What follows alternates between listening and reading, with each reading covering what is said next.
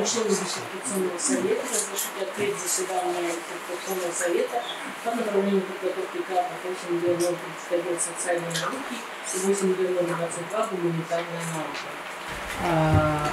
Специальности 6 миллионов 2400 культурология и 8D03104 культурология, а также 6D020-100, 8D02-201 философия Евразийского национального университета имени Камилева. Диссертационный совет утвержден в составе 12 а, человек. Из них председатель диссертационного совета Медеева Кульшата Гибаевна, доктор философских наук, заведующий кафедрой философии Евразийского национального университета. Так и хочется сказать пока. Уже такое настроение. А, заместитель председателя диссертационного совета Карипаев Гажул Искакович, доктор философских наук, профессор кафедры философии и теории культуры Пироградинского университета имени Евгения Букетова. Рада вас видеть. А, прошлая защита вот вас не было, мы, да, скучно было. Да, очень, да. То есть никто не задавал правильных вопросов. Ученый секретарь диссертационного совета Ермагомедова Куралась Аргаблона, доктор философии PhD, доцент кафедры философии Евразийского национального университета имени Гумилева, э, да, и зарубежный член диссертационного совета Иващенко Яна Сергеевна, доктор культурологии, профессор кафедры управления образованием Новосибирского государственного педагогического университета, город Новосибирск. Добрый день, Яна Сергеевна, рада, что вы с нами в течение года. Э, она Завершай. Да. Яна Сергеевна, ваша камера э, вас не видит. Да. Рады, рады. Э, не слышно. Ангара, не шерпать там посудили. Яна Сергеевна, вы нас слышите? Э, мы вас не слышим. Ну хорошо. Надо то будет вот, да, Главное, чтобы вы нас слышите, да, то есть рада вас видеть. И э, по положению, по новым положениям, может быть, кто-то этого еще и не знает, но мы вот уже в течение нескольких лет работаем по новым положениям. На каждой защите у нас есть постоянные члены диссертационного совета и временные члены совета. Временные члены совета всегда подбираются строго по теме диссертации, строго по э, публикациям, так, чтобы это были специалисты в, в этой вот, э, теме, по которой будет происходить защита. Рада видеть Айдар Пакулыча, э, Буф Айдар Пакулыч, доктор философских наук, профессор университета Астана Турции. Тура, извините, Астана э, Тура. А, Киршит Ташхан, кандидат философских наук, заведующий кафедрой религоведения, Януина Гумилева. Он идет приемная комиссия. Идет, да? То есть творческий экзамен. Творческий экзамен, хорошо, но это вот как бы, наш коллега. А, Растиева Аймжан а, Абуловна, кандидат философских наук, заведующий кафедрой э, религоведения Египетского университета исламской культуры Мубара. Рада вас видеть, Пушкин. А, Шабахай Сайра, кандидат философских наук. Ой, доктор PhD, доктор PhD э, философии, его доцент кафедры философии, Ину имени Гумилева, коллега э, с нашей кафедры, э, Кулумжанов Нуржан э, Еркинович, доктор философии PhD, старший преподаватель Университета международного бизнеса имени Сагадиева. Рада вас видеть. Э, состав совета также сегодня, не состав совета, но официальными рецензентами сегодня является Кинджитаев Досай Тосанбаевич, доктор философских наук, профессор Международного казахского турецкого университета ЕСАВИ. Он будет с нами онлайн, еще не подключился, но сейчас уже вот технически эта проблема решаема. И Саркулова Мунифа Стаболовна, кандидат философских наук, доцент Евразийского национального университета имени Гумилева. Э, добрый день э, коллеги из нашего университета. Итого у нас присутствует 10 членов диссертационного совета и два официальных рецензента. Кворум есть, заседание будет проходить, как обычно, в гибридном формате, офлайн и онлайн, то есть через видеоконференцию.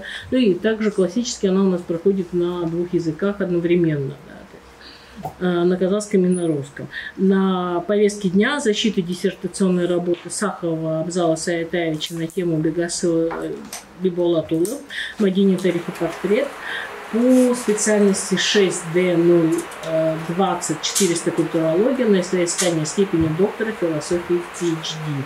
Научные консультанты э, докторанта Рошан Иманджусуп, доктор философских наук, профессор кафедры философии Януни Гумилева, а зарубежный консультант э, Билен Шинай, доктор философии PhD, профессор университета Лудак, Турция, город Бурса.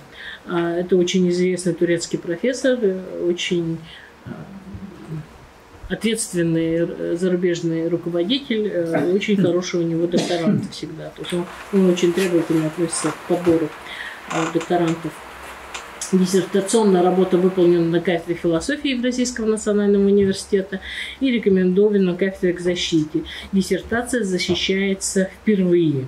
Слово предоставляется ученому секретарю диссертационного совета, доктору философии PhD Ермагомедову Куралай Фергаболовне для ознакомления с, основными, с основным содержанием документов.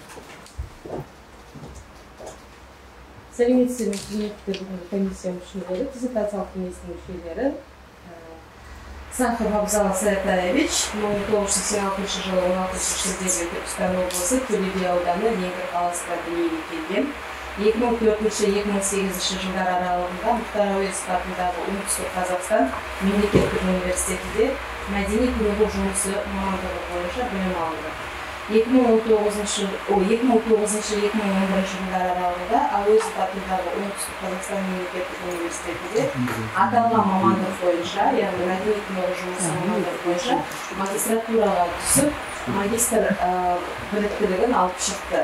Екі мың он жетінші жылы лев николаев гумилев атындағы еуразия ұлттық университетінің алты д нөл екі нөл төрт нөл мәдениеттану мамандығы бойынша докторантураға түсіп екі мың жиырмасыншы жылы теориялық бағдарламасын толықтай аяқтап шықты екі мың он жетінші жылдың жиырма жетінші қазанында лев гумилев атындағы еуразия ұлттық университетінің ғылыми кеңесінде бекасыл биболатұлы мәдени тарихи портрет атты диссертация тақырыбы бекітілді және сонымен қатар отандық кеңесші ретінде иманжүсіп раушанханқызы және шетелдік кеңесші ретінде олдат университетінің профессоры білен шынай бекітілген болатын бұйрық он екі он төрт п жиырма жетінші қазан екі мың он жетінші жыл диссертациялық кеңеске қорғауға шықпас бұрын екі мың жиырма үшінші жылдың жиырма төртінші қаңтарында кеңейтілген философия кафедрасының кеңейтілген мәжілісі өткізілді мәжілістен лицензенттер ретінде аубакир бекмұсамбекұлы және шамахай сайра бекітілген болатын. Ол кісілердің оң пікірін оң пікірі оң пікірін беріп және кеңес мәжілісінің оң пікірі негізінде қорғауға жіберілді. Этикалық комиссия оныншы мамырда өтті. Хаттама номер сегіз шешіміменен этикалық комиссия оң пікірін беріп қорғауға жіберілді. Жиырма алтыншы мамырда диссертациялық кеңеске құжаттарын тапсырды. Құжаттары толық талаптарға сәйкес келеді. Ең басты құжаттары бұл диссертациясы. Диссертациясы толық қатты мұқабада және үш тілді аннотациясы қабылданды. Сонымен қатар талаптарға сәйкес жеті мақала жарияланды. Соның ішінде бір мақала веб сайенс базасына кіретін журналда. Төрт мақала пксон базасына кіретін журналдарда және екі мақала халықаралық конференция жинақтарында жарияланған болатын конференция так жиырма бесінші мамыр екінші хаттаманы қорғауға жіберілді Есть вопросы? Нет. Тогда дальше мы переходим. Слово предоставляется соискателю. Значит, по регламенту у вас 20 минут последний раз. 20 минут. Да, да, 20 минут.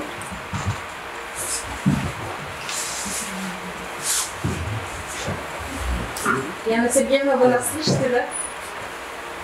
Да, я вас хорошо слышу. И нас вас слышит. Спасибо большое.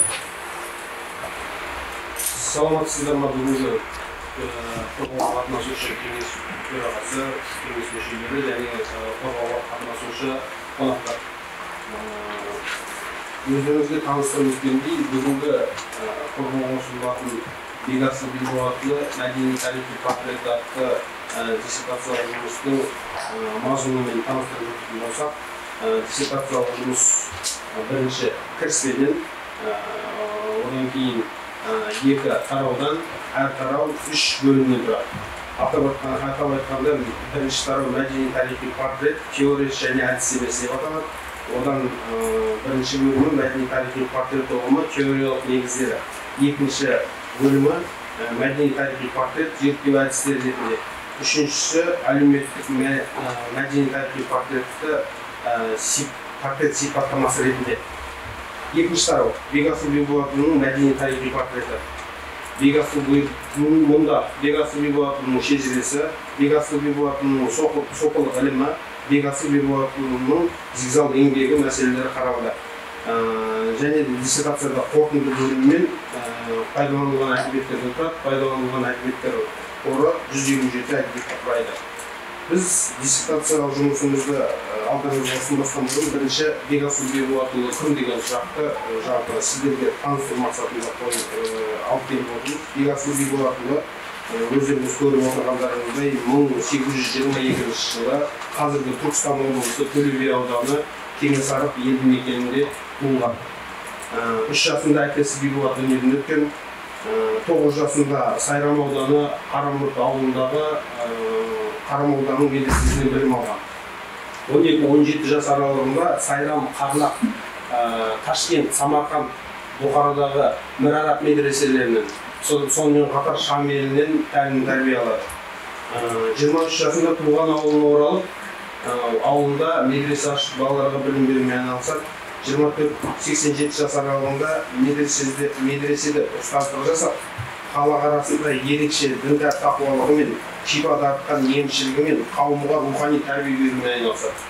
сексен бір жасында яғни мың тоғыз жүз үшінші жылы маусым айында қоғалы жерінде қоғалы жер деп отырғанымыз бұл қазіргі түркістан облысы төле би ауданы кеңесарық ауылында зигзал еңбегін жазып бітіреді әрмен қарай мың тоғыз жүз он бесінші жылы тоқсан үш жасқа қараған шағында дүниеден өтеді бекасыл бекболатұлының қысқаша таныстыратын болсақ осындай әрмен қарай бірінші бөлімде зерттеу жұмысы зерттеу жұмысының өзектілігі мәдени тарихи портрет мәдениеттану мәселе ретінде зерттеудің өзектілігі ұлттық мәдениеттің тарихына ғылым мен мәдениет қайраткерлерінің тағдырына деген қызығушылықтардың артуымен мәдени тарихи кеңістік тұтастығының кеңістіктің тұтастығын нығайтқан әртүрлі дәуірлердің көрнекті тұлғаларының қалыптасуы орын алған тарихи оқиғаларға жаңа түсумен байланысты бұл жерде қарап отырғанда қарап отырсаңыздар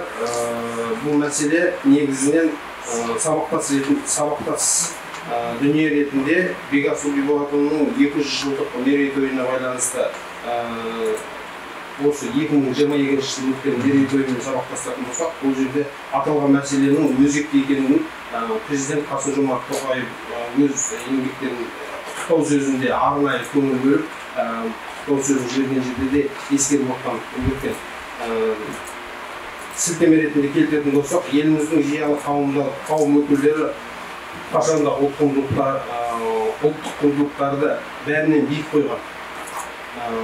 Қазақ зиялылары әрдайым өз қоғамында мәртебелі миссиясын атқарып келеді. Олар ұлт мұрасын түгендеп тарихымызды жаңғыртуға өлшеусіз үлес қосады деп ой қорытқан болатын. Әрмен қарай тақырыптың зерттелу деңгейі.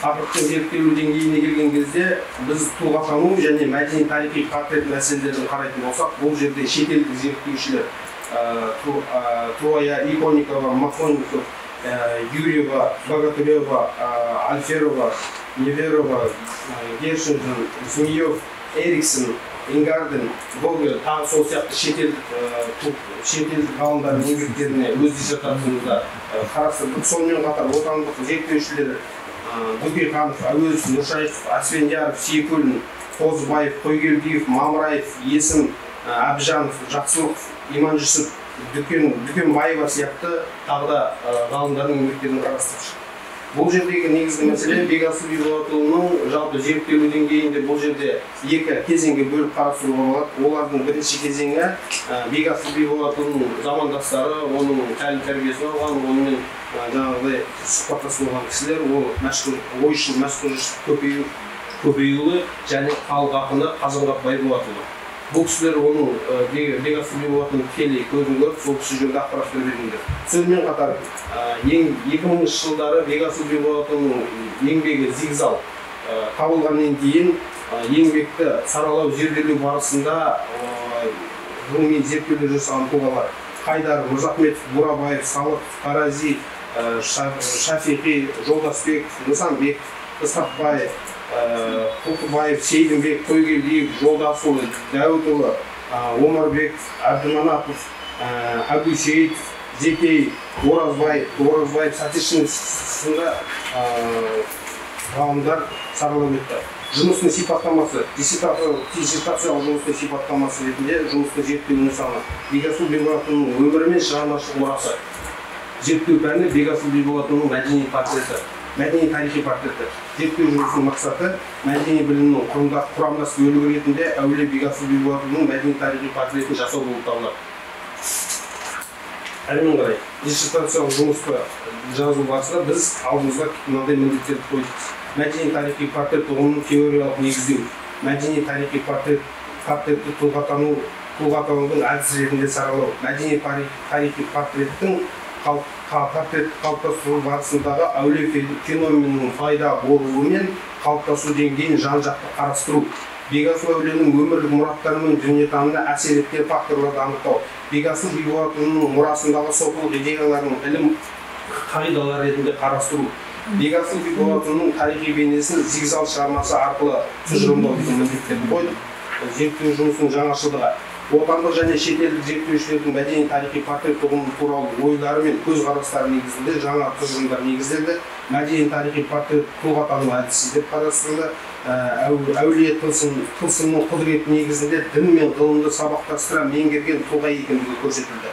Бекасыл бекболатұлының өмірлік мүдделері мен дүниетанымына әсер етуші факторларды анықтау негізінде алғаш рет хронология- хронологиялық кесте құрастырылды бекасыл бекболатұлының мұрасы негізінде иде- идеяларының ілімінің идеялары мен қағидалары сараланды. Зигзал ғұламаның бейнесін айқындаушы еңбек екендігі сараланып бекасыл бекболатұлының білім алу жолының визуалды кар- картасы алғаш рет жасалды. Қор- қорғауға ұсынылатын негізгі қағидалар зерттеу жұмысының негіз, ә, негізінде мәдени тарихи портрет жасаудың үлгісі анықталды. Мәдени тарихи портрет әдіс ретінде рухани және білім ортасы шеңберінде шығармашылық ізденістерін айқындау арқылы тұлғаның болмысы мен дүниетанымын айқындауға мүмкіндік береді. Әулие ұғымының сан алуан діндерде түрлі атаулармен аталғанымен ол түсініктердің бір- біртұтас негізі бар екендігі бар екендігі анықталды. Тари- тарихи уақыттың ерекшелігіне сай кейбір дін- діндерде әулиеліктің әулие әулиеліктің құндылығы бұрмаланғандығы ал қазіргі таңда қазақ руханиятында әулие феномені ерекше және тылсым құбылыс болып табылатындығы анықталды. Қорғауға ұсынылатын ә, негізгі қағидалар. Отандық тұлғатанушы зерттеулер тұлғатанулық зерттеулер жүргізу мен тұлғаның мәдени тарихи портретін анықтауда тектілік феноменінің маңыздылығын көрсет, көрсетілді, көрсетілді бекасыл бекболатұлының шығармашылығында негізгі идеялары сопылық ілімінің түбегейлі түсініктері негізінде қалыптасқан дүниетанымдық ұстанымдар деп дәлелденді.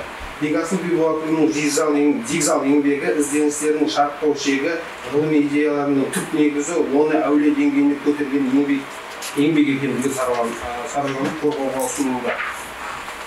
Бірінші бөлімде мәдени тарихи портреттің теориялық негіздері. Өткені мен бүгіннің ара- арасында дәнекерлеуші болып табылады. Ә, дүниежүзілік өнер мен әлем әлем халықтары ә, халықтарының мәдениетін бір ә, білуге деген қызығушылық қызығушылық оятады. Халқының тарихына мәдени ескерткіштеріне құрметпен қарауға тәрбиелеу этнос табиғаты мен мәдениет табиғатының бірлігі туралы түсініктерін қалыптастыру мәдени тарихи портрет қазіргі қоғамның дүниетанымын қалыптастыру қалыптасуына әсер етеді. Ол замандастарына өткенді оның мә- мән мағынасын мә- мән мағынасын ішінде жүргендей сезінуге заман талабына сай м, өткенін байланыстыруға барлық ретте ә, ретке келтіру және қалпына келтіру қазіргі заманның бүгінгі ә, бүгін мен ертеңін анықтауға бағыт береді. Сонымен қатар келесі бөлім бұл мәдени тарихи портреттің зерттеу әдістері. Мұнда тұлғатануды ғылыми тұлғатануды ғылыми алаңның пәнаралық кеңістігіне немесе жалпы әдіснамалық әдіснамалық арсеналына жатқызуға болады. Тұлғатану әдісі сан қырлы сипаттамалары бар. Ол мәдени психологиялық антропологиялық әлеуметтанулық тарихи тұрғыда көрінеді. Тұлғатану тек тарихты жасап қана қоймай сонымен бірге сол қоғамның мәдени құндылықтарын адамгершілік принциптері мен дәстүрлерін бойында сақтап оның же- ә, жетістіктерін ә, жетекшісі бола білген жағдайда ғана ерекше мәнге ие болмақ. Әрі қарай үш әулиелік мәдениет м, әулиелік мәдени тарихи портреттің сипаттамасы ретінде бұл жерде біз жалпы ә, әулиелік мәдени тарихи портреттің сипаттамасы ретінде деген кезде отандық зерттеуші ғалымдардың анықтамаларына жалпы әулие деген кім деген анықтамаларына тоқталған жөн көрдік. Бұл жерде қарап отырсаңыздар ғалым ә, серікбол қондыбайдың әулие халық арасында ерекше діндар тақуалығымен шипадаттан емшілігімен әйгілі болған керемет қасиетке ие қауымға рухани тәрбие жүргізуші тұлға деп беріледі. Енді қарап отырсаңыздар бұл жерде ә, дәл осы әулие деген жерге біз бекасыл бекболат бекасыл әулие деп тұрып қарастыратын болсақ ә, әулиелік құндылықтарына толыққанды сай келетіні бойым болмысынан барлығы табылатындығын көре аламыз.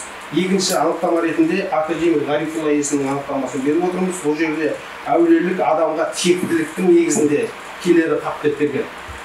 Ә, ислам тарихына тарихында тарихында немесе қазақ тарихында әзірге белгілі болып тұрған әулиелердің барлығы дерлік тектілер ұрпағы деп береді және бұл бекасыл бекболатұлының мынау келесі ә, тараудағы бірінші бөліміне көз жүгіртетін болсақ бұл жерде тектілік мәселесін біз бекасыл бекболаттың шежіресі тарқату барысында көрсете аламыз бұл жерде қарап отырсаңыздар бекасыл бекболатұлы ұлы жүз оның ішінде дулат жансыз руынан шыққан жансыз руындағы құдайберді есім ханның орда биі. Ә, есім ханның орда биінен құдайбердіден қарап отырсаңыздар түгелбай түгелбай батыр мен әлібек деген ә, балалар тарайды сол жерде әлібек қазаққа танымал үш бидің бірі төле бидің әкесі әкесі болып табылады. Бұл дегеніміз бекасыл әулие төртінші атасында ә, төле бимен аталас болып келетін көрінеді. Ары қарай ә, үш төрт түгелбай бабаларының бірі түгелбай батыр болған одан кейінгі мырзакелді тәуке ханның мыңбасы болған одан кейінгі сары батыр баласы және биболат қоқан хандығы кезінде пансат дәрежесінде сайланғандығын көре аламыз. Бұл деп отырғанымыз жаңағы біздің айтып отырған текті деген түсінігімізге толыққанды сай келетінін көрсетеді. Және келесі ә, мәселе біз далалық зерттеулер жұмыстарын жүргізу барысында қарап отырсаңыздар осы бекасыл әулиенің ұрпақтары ұрпақтарынан интервью сауалнама сұхбат жүргізу жұмыстарын жүргізген болатынбыз соның ішінде қарап отырсаңыздар қазір мына орталарыңызда ә, кеңеске қатынасып отырған бекасыл бекболатұлының шөбересі тікелей шөбересі болып келетін саясаттану ғылымдарының докторы ә, ержан бекбауұлы исақұлов ортамызда отыр қарап отырсаңыздар ә, бұл кісі осы генерал ә, бұл кісі жалпы осы бекасыл бекболатұлының ілім жолындағы жолын әрмен қарай жалғастырып келе жатыр. Әрмен қарай сауалнама жүргізу барысында қарап отырсаңыздар сонымен қатар бекасыл әулиенің ағасы байшымырдың ұрпақтарынан да сауалнама жүргізілді. Сонымен қатар ол жерде сол ауылдың тұрғыны байшымыр биболатұлының ұрпағы болып келетін сапарбек ақсақалдан да сауалнамалар алынды ә, және басқа ауыл тұрғындарынан да сауалнамалар алынған кезде бекасыл бекболатұлының білім алу жолы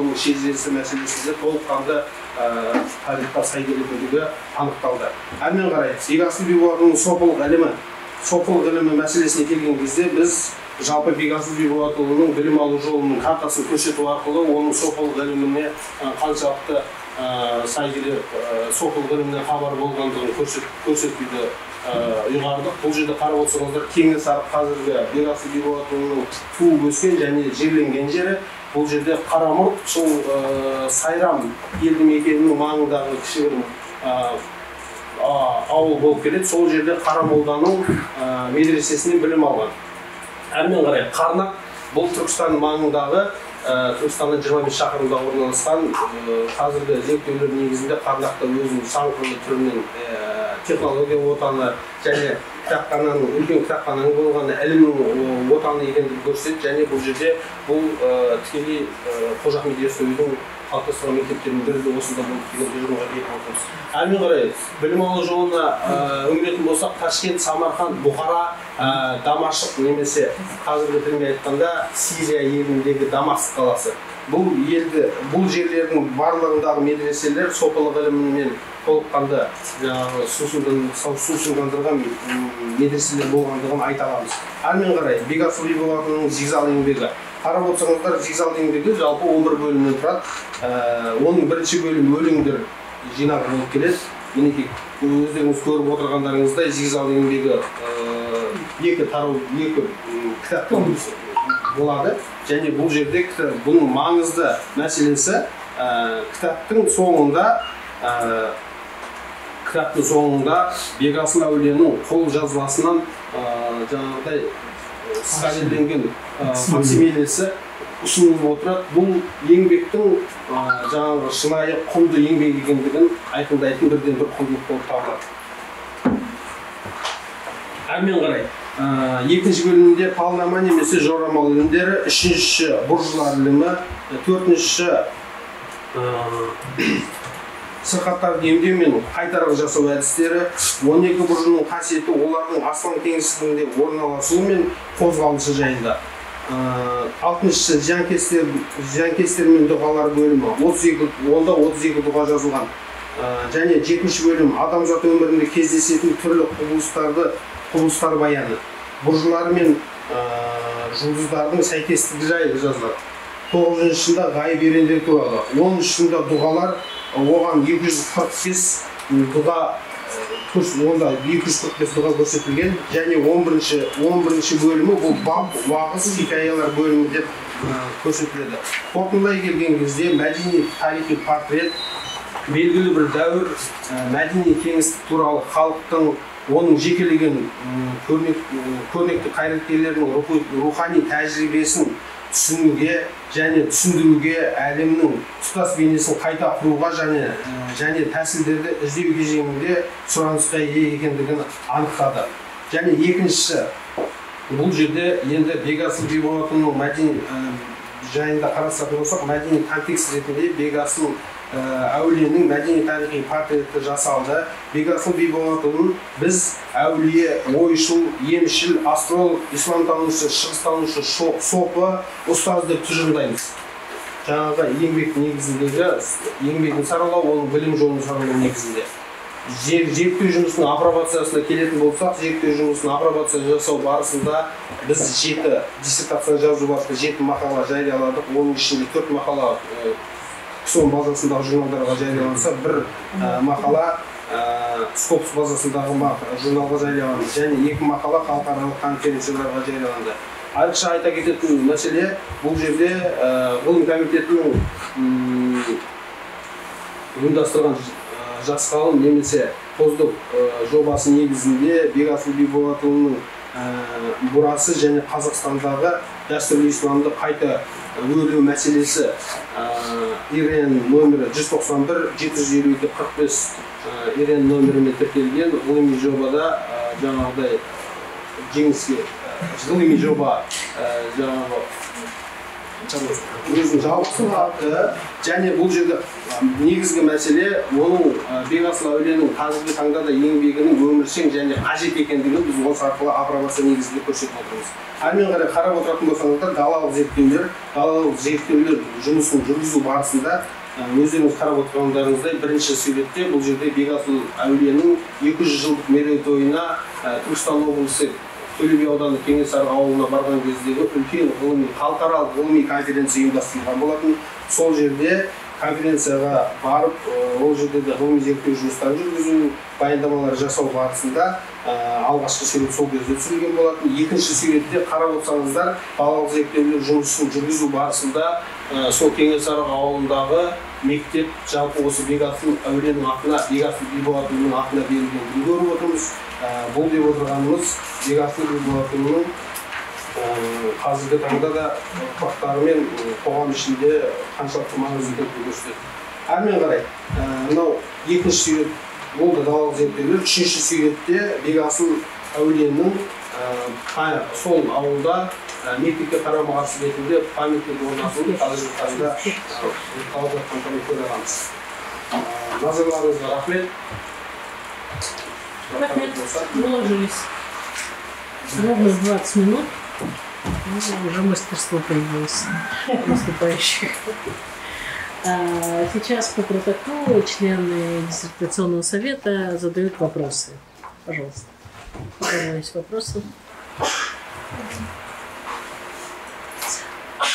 есть вопросы? Нет, нет, сейчас вначале вопросы. Да. Сразу так. Да, пожалуйста. Да, Я- Яна Сергеевна, пожалуйста. Нет, звук еще не появился. Только что только что был звук, сейчас снова пропал. А, Надо будет... ты- А сам- Выйти, зайти, идешь в него? Пожалуйста.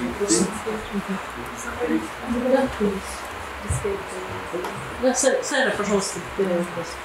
бекасыл бибуатұлы өз заманда мәшһүр жүсіппен мәшһүр жүсіп дегенде хан қатыны байболатұлы осы екеуінің басқа қандай ойшылдармен қарым қатынаста болуы Экран. немесе болуы ықтимал қандай да бір байланыс дәстүрлі стильдік жағынан сондай бірге ойшылдардың еңбектері бар ма? Уважаемые коллеги, слышно меня? А, Яна Сергеевна, минутку, сейчас еще один вопрос задает уже, да? екінші сұрақ Теперь я вас не слышу. еңбегінің аты неліктен зигзал деп аталды. Зигзал сөзінің мағынасы қандай? Жалпы бұл зигзалды көп қырлы еңбек деп отырмыз иә авторы бекасыл бекболатұлы да бойына қаншама жаңағы өнерді тоғыстырған қасиеттерді бойына жинаған сондай үлкен тұлға. бірақ бүгінгі күні халық әлі той тани алған жоқ. Қазіргі қазақ мәдениеті үшін құндылық ретінде сіз өз тарапыңыздан қай қырын атап едіңіз? Хорошо, два, вопроса Яна Сергеевна, А, Меня слышно? да, слышно. А, У нас просто гроза, поэтому, видать, э, проблема со связью. А, Вот э, у меня такие два коротких вопроса относительно одного аспекта. А, Диссертант пишет о том, что э, была определена модель культурно-исторического портрета вот, той самой творческой личности. А, В связи с этим два вот таких э, вопроса. Какие структурные элементы содержит эта модель? И э, вопрос о ее новизне. То есть это была модифицирована уже имеющаяся модель или создана принципиально новая модель? Вопрос понятен? Да, да. Два вопроса понятно. Спасибо. Записаны. Пожалуйста, еще вопросы? У меня вопрос. Да. А, Абзал Саятұлы мына тақырыптағы бекасыл бекболатұлының сопылық ойлар дегенді айтып кеттіңіз. Сопылық ойлар дегенді қалай сіз осыны түсіндіңіз? Қай қай мағынада қай жағында қандай тараулар болды көрінді зерттеулерінде сопылыққа байланысты ойлар. Рахмет. Маркович, один вопрос. Да, пожалуйста. Да. Наимжан. Жаңа сопылыққа қатысты не деп отыр бекасыл бекболатұлының сопылық ә, несі қалай білуге болады? Ол ұлттық мәдениет пен дүниетанымдағы алатын орны қандай? Қазақ азат азаматы мен жаңағы діндардың болмысындағы қасиеттер мен сабақтастық көріністері нақты айтып бере аласыз ба қазіргі кезде? Ол жалпы ол сабақтастық бар ма? Екінші сұрағым. Осы тұлғаны қалыптастырудағы жалпы ә, психологиялық жағынан болсын әлеуметтік жағынан болсын да ол ә, әулие образы қазақ қоғамында алатын орны қандай әулие образының тағы бір кішкене сұрағым бар. Осы бекасыл бейболатұлының портретінде мәдени тарихи портретінде болмысын жалпы ә, болмыс туралы сөз болғанда мен концепциясын қарастырдыңыз ба? Егер оны қарастырсаңыз қандай ә, қалай қарастырдыңыз? Және осы қазақ азаматының осы мен образында олар идеал тұтатын қандай образдарды идеал тұтады олар? Рахмет. Два вопроса, да, хороших, больших. Пожалуйста, да. Абзал саясатұлы менде мынандай сұрағым бар әулие деген ұғымды сіз анықтама басқа ғалымдардікін берген екенсіз мен сіздің диссертацияңызды оқып шықтым бірақ сіз өзіңіз әулие деген концепт ұғым ретінде қарастырған соған өзіңіздің анықтамаңыз жоқ сол себепті өзіңіз қандай анықтама берер едіңіз өйткені әулие концепті мысалы орысша қазір святой деп аударады бірақ оның баламасы дұрыс емес ол мүлдем басқа біз соның баламасын ғылымға оборотқа енгізіп қазір өте көп қателіктер жіберіп жатырмыз сіз жаңағы әулие ұғымын айттыңыз басқа бір екі ғалымдың концепциясын айттыңыз сіздің өзіңіздің қандай анықтама берер едіңіз екінші сұрағым біздің қоғамымызға енді бір диссертация жаздыңыз ғой қандай жаңалық не жақсылық не өзгеріс әкеле бар идея бар қандай идеясы бірінші екінші үшінші идея жаңалық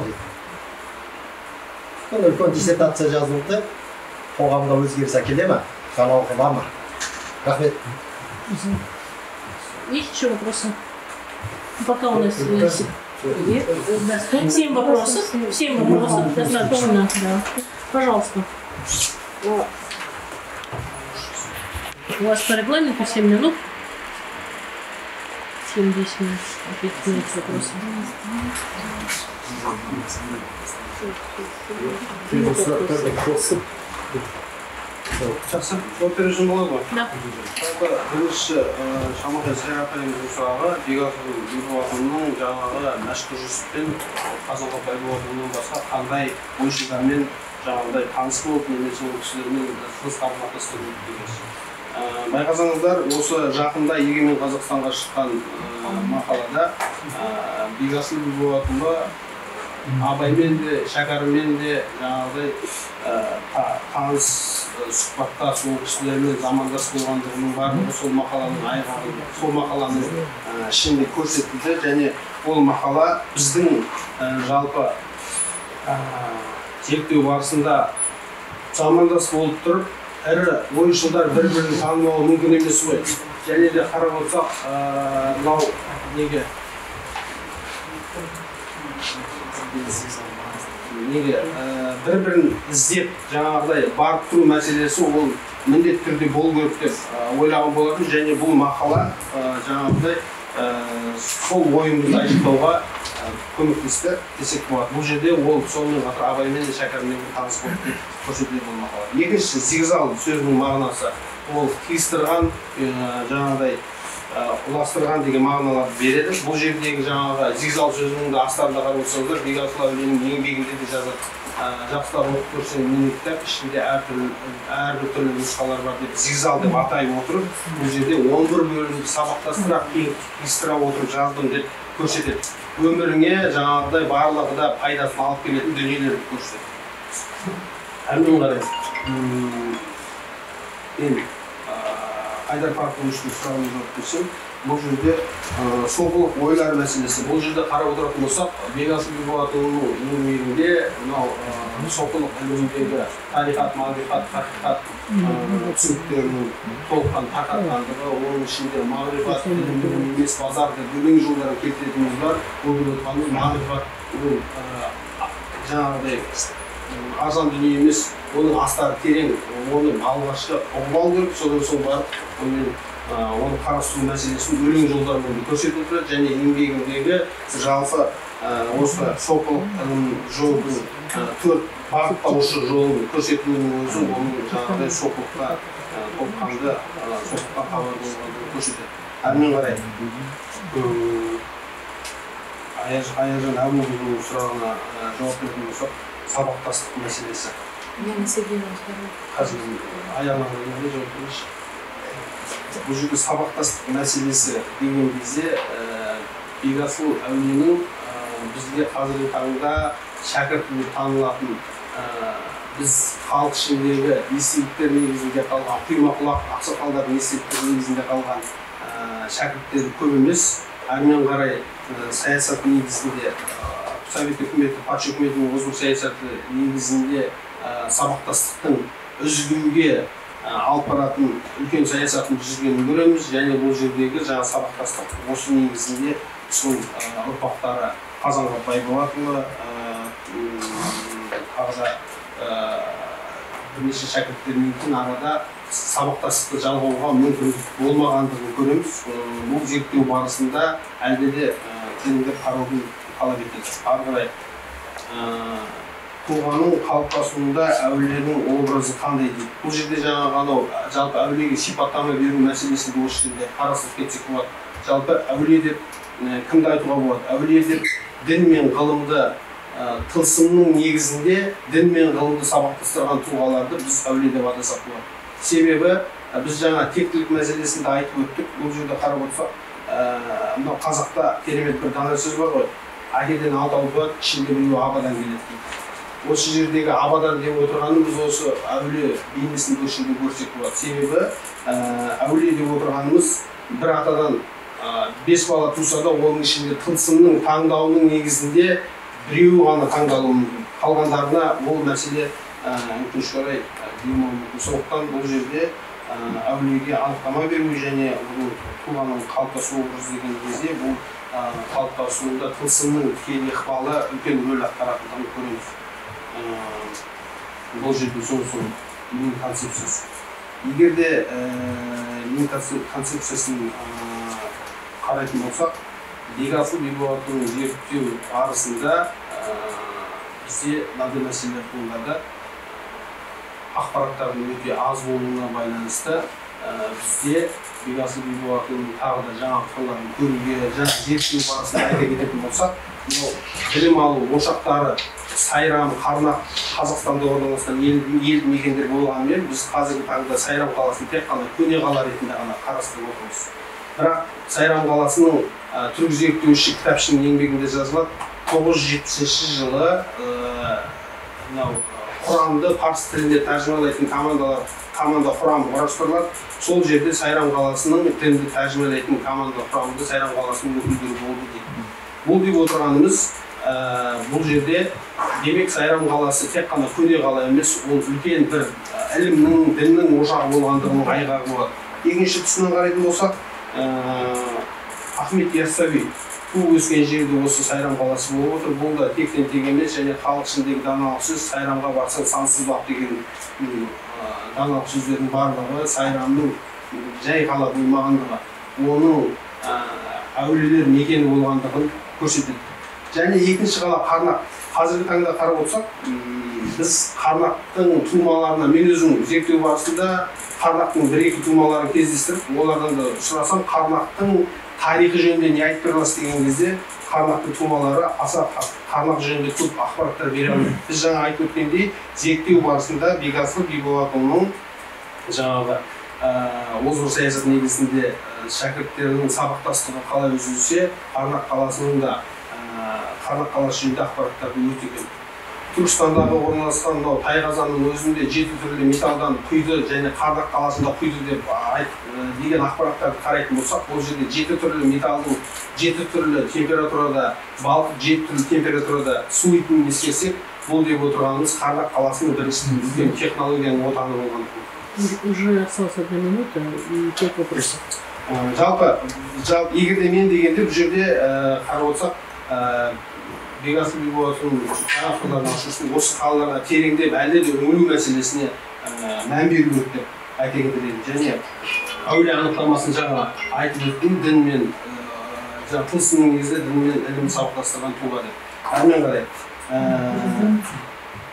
қоғамға қандай жаңалықтар алып келді дейді біріншіден қарап отырсақ қоғамға бекасыл бекболатұлының еңбегі оның өмірі мен шығармашылығын қарастыра отырып біріншіден мынау қазақстанның қазіргі таңдағы жүргізіп жатқан саясаттарын әділетті қазақстан саясат мәселесі жүзеге асыруда осы бекасыл бекболатұлының өмірлік ұстанымдарын алуға болады. Содан соң барып бекасыл бекболатұлының жалпы тірі кезінде әулие атануының өзін оның бір қазіргі таңда қоғамды мынау еліміздегі жастарды жаңағыдай соған үгіттеуге соған бет бұруға бір үлгі ретінде көрсетуімізге болады. Және бекасыл бекболатұлының мынау халық медицинасының өзін айтып өтетін болсақ бекас бекболатұлының еңбегінде халық медицинасының өзі қазіргі таңда бізде медицина саласындағы кейбір ақсаған тұстарды қарап отырсақ халық медицинасында соның шешу жолдарын көрсетіп отырғанын көреміз. Бұл деп отырғанымыз қоғамға бір жаңашылық әкелу мәселесінде бұл адамды емдеу мәселесінде терең үңілуге бөліп оның әлде де астарын ашу керектігін көре аламыз. Және яна сергеевнаның сұрағы бұл жерде модель создания жаңағы тарихи мәдени. открытка жаңа жаңа модельде мен уже жаңадан емес бұл жерде тұлғатану мәселесін қарастыра отырып жалпы тұлғаның мәдени тарихи портретін жасауда оны қалай жасасақ болады деген мәселені қарастырған кезде ол модель раушан нұрханқызының моделі негізінде жасалды.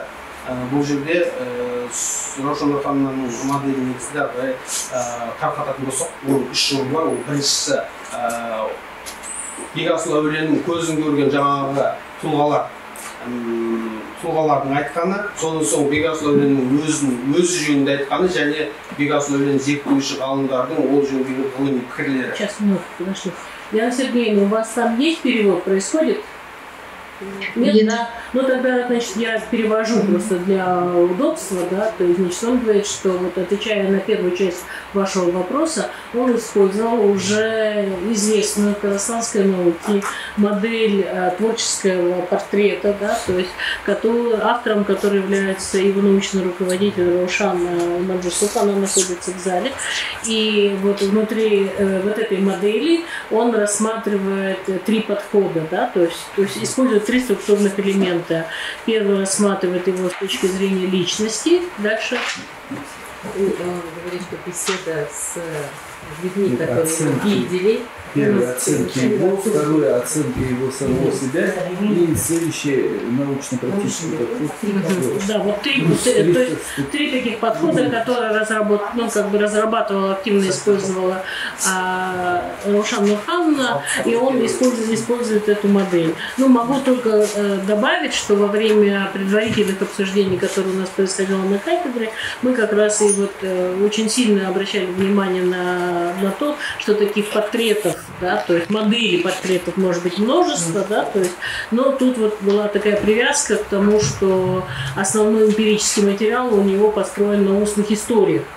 То есть на устных историях, на том, что он собирал, э, то есть брал интервью у, родственников, да, то есть у тех, кто является продолжателями, и у многих э, таких интеллектуальных деятелей в Казахстане, да, то есть, которые тоже что-то говорили или писали, да, то есть, если это даже небольшое такое исследование, но тем не менее у них были эти данные, да, то есть, вот, вот, э, как бы вот эту мозаику он все собирал внутри своей диссертации. Это первая А, часть. благодарю. Да, От- ответ, ответ получила. да, всё, спасибо. Екінші сұрақ бұл жерде жалпы қандай жаңалық болды дейді бұл жерде біз жаңа атап өткен болатынбыз ә, біз оны әулие ойшыл Все, да? А, а, нужен, нужен, да. жауап бердім ғой Жоқ, жоқ, бердім. Біздің қоғамға деген жауап берген идея бар. өте қысқа жауап берді Бәрі соған тырысамыз. Хорошо. Эм, Тогда мы переходим э, к следующему этапу. Предоставляем, да, предоставляем слово официальным э, оппонентам, да, то есть рецензентам. И первое слово профессору э, Кенджитаеву Досаев Турсунбаевичу. Пожалуйста. Он сейчас есть. Гусай Мырза, иә.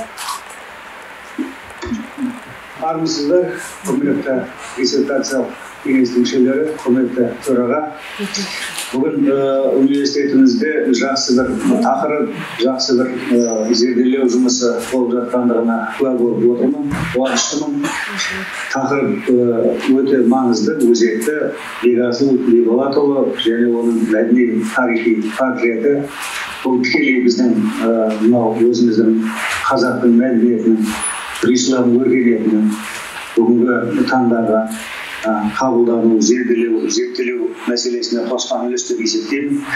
Мен өзім сыртта мына тағылымдама жүргендіктен уақытымда тар еді. Сондықтан мынау шаблонға байланысты шаблонға қатысты жазылған өзімнің пікірлерім бар еді қағазда түсірілген. Соларды нақты нақты критерийлерін атап өтсем соған рұқсат етсеңіздер мұнда критерийлер диссертация тақырыбының ғылымның даму бағыттары мен мемлекеттік бағдарламаларға сәйкес болуы бірінші критерий бар екен ғылыми маңыздылығы сосын еңбек пенен жазу зерттеуші арасындағы қатынас өзін өзін өзі жазды ма жазбады ма деген ішкі бірлік принциптері бар екен сосын ғылыми жаңалығы мәселесі сосын негізгі қорытындылары және оның негізделуі мәселесі қорғауға шаралар негізгі қағидалар мен жаңалықтары сосын дәйектілік принциптері дерек көздеріне байланысты критерий қойылған практикалық құндылық осы жасалған еңбектің содан кейін рәсімдеу сапасы мәселесі бойынша сіздерге қысқаша өзімнің тұжырымдарымды жеткізгім келеді бірінші критерий бойынша диссертация тақырыбының ғылымның дамуының бағыттарына сәйкес келу мәселесінде рас ғылыми еңбек тақырыбы да диссертация қазақстан республикасының мәдениеті мен тарихына байланысты жазылған әсіресе бұрынғы мынау мәдени мұра бағдарламасы түркістан өркениеті қазақтың бүгінгі мынау діни рухани әлеміндегі көптеген құндылықтық негіздер мәселесі бұның бәрі қамтылған тарихи мәдени құндылықтарды насихаттауға кеңінен таныстыруға деген ынтасы бар қазақтың мәдени мұрасын зерделеуге деген үлесі бар тарих және мәдениет ескерткіштерін қорғау мәселесінде де үлесі бар деп есептеймін. Сосын қазақ халқының мынау дүниетанымдық материалдық бүкіл аксиологиялық жаңағы құндылықтары бұл жерде өзектілігін көрсету және соған қатысты зерттеуінде сәйкестігін үндестіру де бар.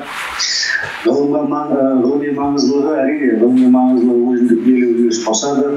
Атап айтқанда диссертант зерттеу жұмыстарын жүргізу барысында жасаған бекасыл бекболатұлының білім жолының визуалды картасы негізінде тұжырымдалған жаңа көп айтылды ғой сайрам қарнақ түркістан жаңалығына қаратау мен сырдың бойындағы түркістан өркениетінің ошағы бұл жер шын мәнінде кезінде адам өзі мұсылманский ренессанс деп жазып кеткен соның бір тарихи сабақтастығы мен жалғастығы ретінде осы бекасыл бекболатұлының дүниетанымдық ойлау жүйесін және оның қосқан үлесін осы жерде зерделеуге тырысқан. Әрине кемшіліктер жоқ емес бірақ мен бұл процесстің ішінде екендігіне сенімім мол. Сосын өзі жазу принципі әрине оны жаңа айттым. Процесстің ішінде өзі жазған аралаған далалық көптеген методологиялық жаңағы берілген мүмкіндіктердің бәрін қарастырған техникалық ішкі бірлік принципіне келетін болсақ диссертация өзектілігінің негіздемесі бойынша бұл ішкі принципке әрине құрылған оның жүйесінің өзі маған мен оған кіріспесі бар кіріспеде анықталған негізгі негіздемелері бар сосын негізгі бөлімдерде жазылған мынау сабақтастықты бір тұтастық негізінде көрсете білген ғылыми жаңалық жаңалық принципі бойынша да бұл жерде бірнеше критерий бар екен бұл жерде ғылыми нәтижелер мен жартылай жаңа деген мына жерде бап бар екіншісі жиырма бесте жетпіс бес аралығы жаңа жаңа болып табылады делінген содан кейін бұл диссертациялық қорытындылардың өзі сол менде сол екіншіге қосыламын жиырма бесте жетпіс бес жаңа болып табылады техникалық технологиялық экономикалық және басқару шешімдері ұсыныстары негізделгендігін біз көрдік негізгі қорытындылар мен обоснование дейді ғой бұнда барлық қорытындылар ғылыми тұрғыдан өзінің талаптарына сәйкес жасалған ауқымды дәлелдемелер келтірілген. Қорғауға шығарылған қағидалардың қағидаттарын да қарадым. Қағидаттар меніңше сенімді дәлелді. Сондықтан қорғауға шығарылған негізгі қағидаттар бойынша жаңа деп есептеймін. Қорғауға шығарылған негізгі қағидаттардың қолдану деңгейі енді әрине қолдану деңгейі орташа ал енді дәйектілік принципі бойынша дерек көздеріне ұсынылған ақпараттардың дәйектілігіне сай әдістеменің таңдалуы ғылыми еңбек барысында зерттеліп жатқан тұлғаның шынайы бейнесін қалыптастыру үшін анализ сұхбат генетикалық талдау осындай кәдімгі ә, кешенді мәдени тарихи талдау методологиясын қолданғанын көріп отырмын. Тұлғатанулық та- тапсырысы талпынысы бар. Жаңа өзі айтты ғой бұл дерек аз мен бұл бекасыл хақында бізге кезінде біраз іздеген іздедік былай мәдени не бойынша сұраныс бойынша шын мәнінде дерек көздері аз жоқтың қасы ол жаңағы зигзаг еңбегінен басқа сосын ол өмір сүрген аурасы жаңағы кімдермен қатынас жасады қандай медреселермен рухани байланысы бұның барлығы бізде қолымызда дерек жоқ бірақ бұл диссертант соған қарамастан ә, жоқтан бар жасады деп мен ә, сіздерге ә, айта аламын себебі бұл процесстің ішінде көргенмін. Енді ә, практикалық құндылық принципі бойынша келетін болсақ диссертациялық теориялық маңызы құндылық принципі бойынша өте маңызды. Бекасыл бекболатұлының мәдени тарихи портреті сол он тоғызыншы ғасырдың мәдени бейнесін қалыптастырудағы тұғырлы мәдениеттің қайта қалыптасуына қазіргі бүгінгі мәдениет арасында қалыптастыруға бір көпір ә, функциясын атқара алады мен сондай қанағаттамын сондай көзқарастамын диссертацияның практикалық маңызы бар және алынған нәтижелері практикалық қолдану мүмкіндігі өте жоғары жаңа өзі де негіздеме жасады шын мәнінде біз ең мына евразия кеңістігіндегі бұрынғы құрама үкіметіндегі ең жас ұлтпыз ең жас ұлт деген сөз бұл динамикаға ашық біздің тарихымыз да құндылықтарымыз да өзімізбен қатынасымыздың өзі шын мәнінде қазір өте өзекті жағдайы бар. Бұл жаңа тырнақшаның ішінде ә, көптеген мәселелер айтпай ақ қояйық жаңа әділ қазақстан әділетті қазақстан жаңа қазақстан міне біз тарихилық ә, үндестік тұрғысынан да сабақтастық тұрғысынан да бұл диссертацияның маңызы жоғары деп бағалауыма рұқсат етіңіздер. Практикалық ұсыныстар толығымен ә, жаңа ма деген кезде әрине ол толығымен жаңа емес. Ішінара жаңа деп бағалаймыз.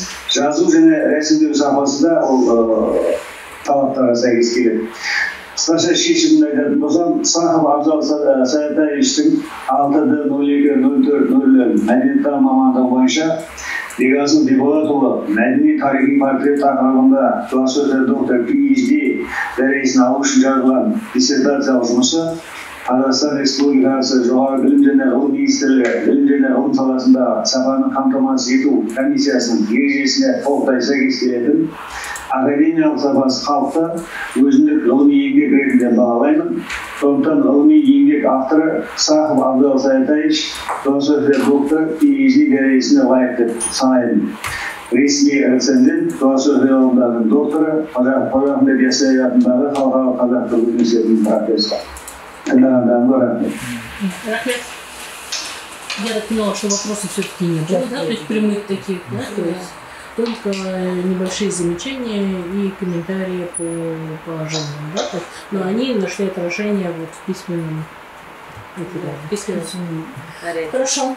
Да, предоставляется слово второму э, официальному реценденту э, кафед- э, от кафедры, кандидат философских наук, доцент Евразийского национального университета имени Гумилева, манифест об Олме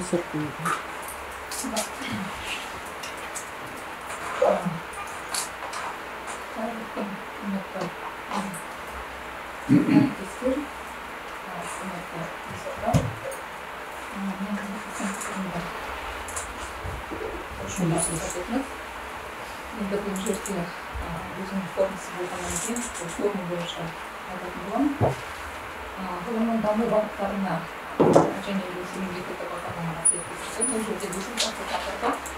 бекасыл бекболатұлы мәдениет департаменті ғылымның даму бағыттары ішінен жетінші әлеуметтік және гуманитарлық саласындағы зерттеулерге және арнайы мамандырылған бағыттардың ішінен жеті де екі гуманитарлық ғылымдар саласының іргелі қолданбалы қадағалау зерттеулер және де қоғамды жаңғырту жағдайындағы тарих пен мәдениеттің әдебиет пен тілдің дәстүрлер мен ортақ А, екінші пункт бойынша диссертация мемлекеттік бюджетіне қаржыландырылатын немесе нысаналы бағдарламасының аясында диссертация шесті алты д нөл екі нөл тоғыз екі мәдениеттану мамандығы бойынша философия дәрежесін іздену үшін мемлекеттік бюджеттен қаржыландырылатын грант бойынша докторантура аясында дайындалған диссертациялық жұмыс диссертация қазақстан республикасының үкімет жанындағы жоғары ғылыми техникалық комиссия бекіткен еліміздегі ғылым дамуының жетінші пункт әлеуметтік және өнеркәсіп саласындағы зерттеулер басымдығына сәйкес келеді және жұмыс ғылымға елу үлесін қосады қоспайды деген пункт бойынша жұмыс зерттеу тақырыбы аясында ғылымға елеулі үлесін қосады өйткені автор тарихи мәдени портретін жасау мәселесі бойынша модель талдауы арқасында маңызды нәтижелерге қол жеткізген өзі жазу деңгейі автор өзі жазу деңгейі жоғары бұл автордың ерекше логика зерттеу мақсатында айқын көрінеді келесі пункт. Диссертация зерттеудің негіздемесі негізделген өйткені диссертация өзектілігі қазіргі қоғамда объективті үдерістермен байланыстырыла негізделген байқалады диссертация мазмұны диссертация тақырыбын айқындайды айқындамайтын сұраққа бұл жерде әрине айқындайды өйткені тарихи портрет теориясы және әдістемесі және бекасов бекболатұлының мәдениеті портреті атты тарауларында анық көрініп тұр мақсаты мен міндеттері диссертация тақырыбына сәйкес келеді диссертация барлық желілермен құрылысы логикалық байланысқан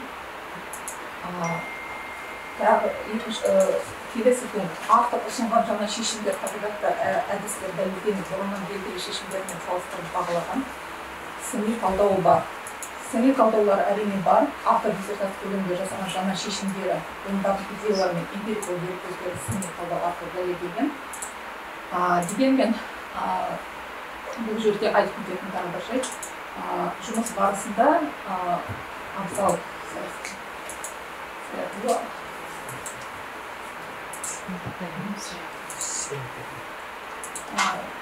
үш түрлі портреттерге тоқталып өтілді солардың ішінде жаңағы ғылыми еңбектерге бұл жерде секілді еңбектерге тоқталып кетеді екінші романизацияландырған биография романизированная биография деген. Бұл жерде анри туая андре маруа секілді авторларға тоқталады және де үшінші көркем шығармалардағы портрет. Белгілі тұлғаның портреті ретінде бұл жерде абай жолы мұхтар әуезовтің шығармасына тоқталады сонымен бірге бұл жерде екі негізгі ұғымдарды қолдана отырып бұл жерде әдеби портрет және мәдени тарихи портрет. Осы екі ұғымның негізгі ерекшеліктерін және айырмашылығын нақты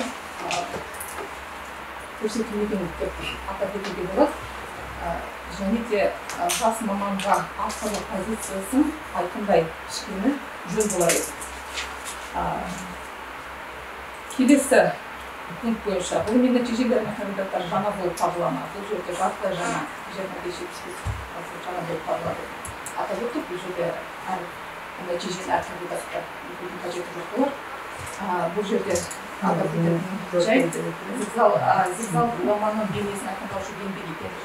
бекасов білім алу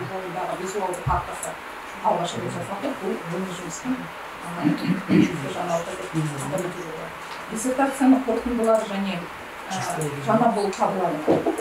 Бұл жерде жартылай жаңа техникалық технологиялық экономикалық немесе басқа шешімдер жаңа негізделген және негізделген деген сұраққа бұл жерде диссертацияны зерттеу тақырыбының нысаны гуманитарлық салаға жатады айтып кеткен болатын ал енді жұмыстың негізгі мазмұны технологиялық экономикалық салаларға жатпағандығымен автордың кейбір идеяларын және ұсыныстарын мемлекеттік бағдарламаның бағдарламалар дайындау барысында қолдануға болады бұл жерде халық тарихи айтқанда болашаққа бағдар рухани жаңғыру және қазақстанның сапалы атты мемлекеттік бағдарлама келесі пункт бойынша барлық қорытындылар ғылыми тұрғыдан қарағанда ауқымды дәлелденулерге негізделген. Келесі қорғауға шығарған негізгі қағидаттар әр қағидат бойынша келесі сұрақтарға жауап беру қажет бұл жерде қағида дәлелденсін дәлелденбетін диссертациялық жұмыста негізгі қағидаттар дәлелденген және ғылыми тұрғыда дәйектелген құрылғы шартқа негізгі қағидаттар тривиал дәлел түстік емес автор әрбір нәтижені тұрғыдан ұсынғаны байқалады диссертациялық қағидаттардың теория мен практиканы қолдану деңгейі ауып қиынатында ғылыми нәтижелер туралы орта арнаулы оқу орындарындағы әлеуметтік пәндердің яғни мәдениеттану философия исламтану дінтану салаларында кеңінен пайдалануға болады негізгі қағидаттар жарияланымдардың деңгейінде жеткілікті дәлелденген сынақтан өткен автордың зерттеу тақырыбында жеті мақаласы жарық көрген әдістеменің таңдауы негізделген немесе әдіснама нақты жазылған иә дереккөз мен ұсынылған ақпараттың дереккөзіне сай әдістеменің таңдауға негізделген ғылыми еңбек барысында зерттеліп жатқан шынайы бейнесін қалыптастыру үшін анализ сызбақ герменевтикалық талдау мәдени тарихи талдау тәсілдерді қолдана білген диссертация жұмысының компьютерлік технологияларды қолдану арқылы ғылыми зерттеулердің қазіргі заманғы әдістер мен деректерді өңдеу және әдістемелерін пайдалана отырып алынған жерде жауап береміз және де барлық теориялық тұжырымдар өзара қатынастар мен заңдылықтар дәлелденген және негізделген автор зерттеу барысында маңызды мәлімделер нақты және сенімді ғылыми әдебиеттерге зерттемелермен расталған мүмкіндігінше шетелдік және отандық ғылымдардың мәліметтерін және эмпирикалық дереккөздердің мәліметтерін талдау арқылы мәлімдеме жасаған келесі пункт бойынша диссертациялық теория маңызы бар бекасы бекболатұлының мәдени фальсифат еліміздегі он тоғызыншы жиырмасыншы ғасырда қазіргі мәдениеттің қайта қалыптасуына мүмкіндік береді айтуға болады диссертацияның практикалық маңызын кетті келесі практикалық ұсыныстар жаңа болып табылына жаңа болып табылады. Жасалған зерттеулер негізінде тұлға мәдени білім құрылымында мәдени тарификация бизнес арқылы өткеннің мәдени мұрасын түсінудің және мүмкіндіктері жан жақты қарастыруға мүмкіндік береді. Академиялық жазу сапасы орташа болып табылады. Енді автор теориялық және эмпирикалық мәліметтер талдауда ғылыми мойындалған әдіснама сүйене әдіснамаға сүйене отырып ғылыми сөзді баяндаған диссертация мәтін ғылыми нормаларға сәйкес жазылған шешімге келетін болсақ сахн абзал саятаевичтің философия докторы phd дәрежесін алу үшін бекасов бекболатұлы мәдени тарихи тақырыбында жазылған диссертациялық жұмысы қазақстан республикасы ғылым және жоғары білім министрлігінің ғылым және жоғары білім саласындағы сапаны қамтамасыз ету комитеті мен дәрежелер беру қағидаларында берілген талаптарға сәйкес ғылыми еңбек сақ аббасаевич алты д нөл екі нөл төрт екі нөл мәдениеттану мамандығы бойынша философия докторы phd дәрежесі берілсін ресми ресми философия ғылымдарының кандидаты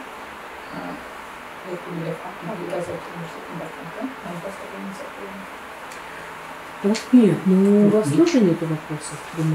По сути есть, поскольку ну, а, надо, все-таки потому что у нас э, иначе у нас получается э, как бы такая достаточно странная история, потому что обычно рецензенты, они говорят, вот у меня есть э, отзыв, там все написано, но я вот задам существенно я сейчас, важного. Да, я да. уточню на русском языке для нашей а, коллеги и в целом для аудитории.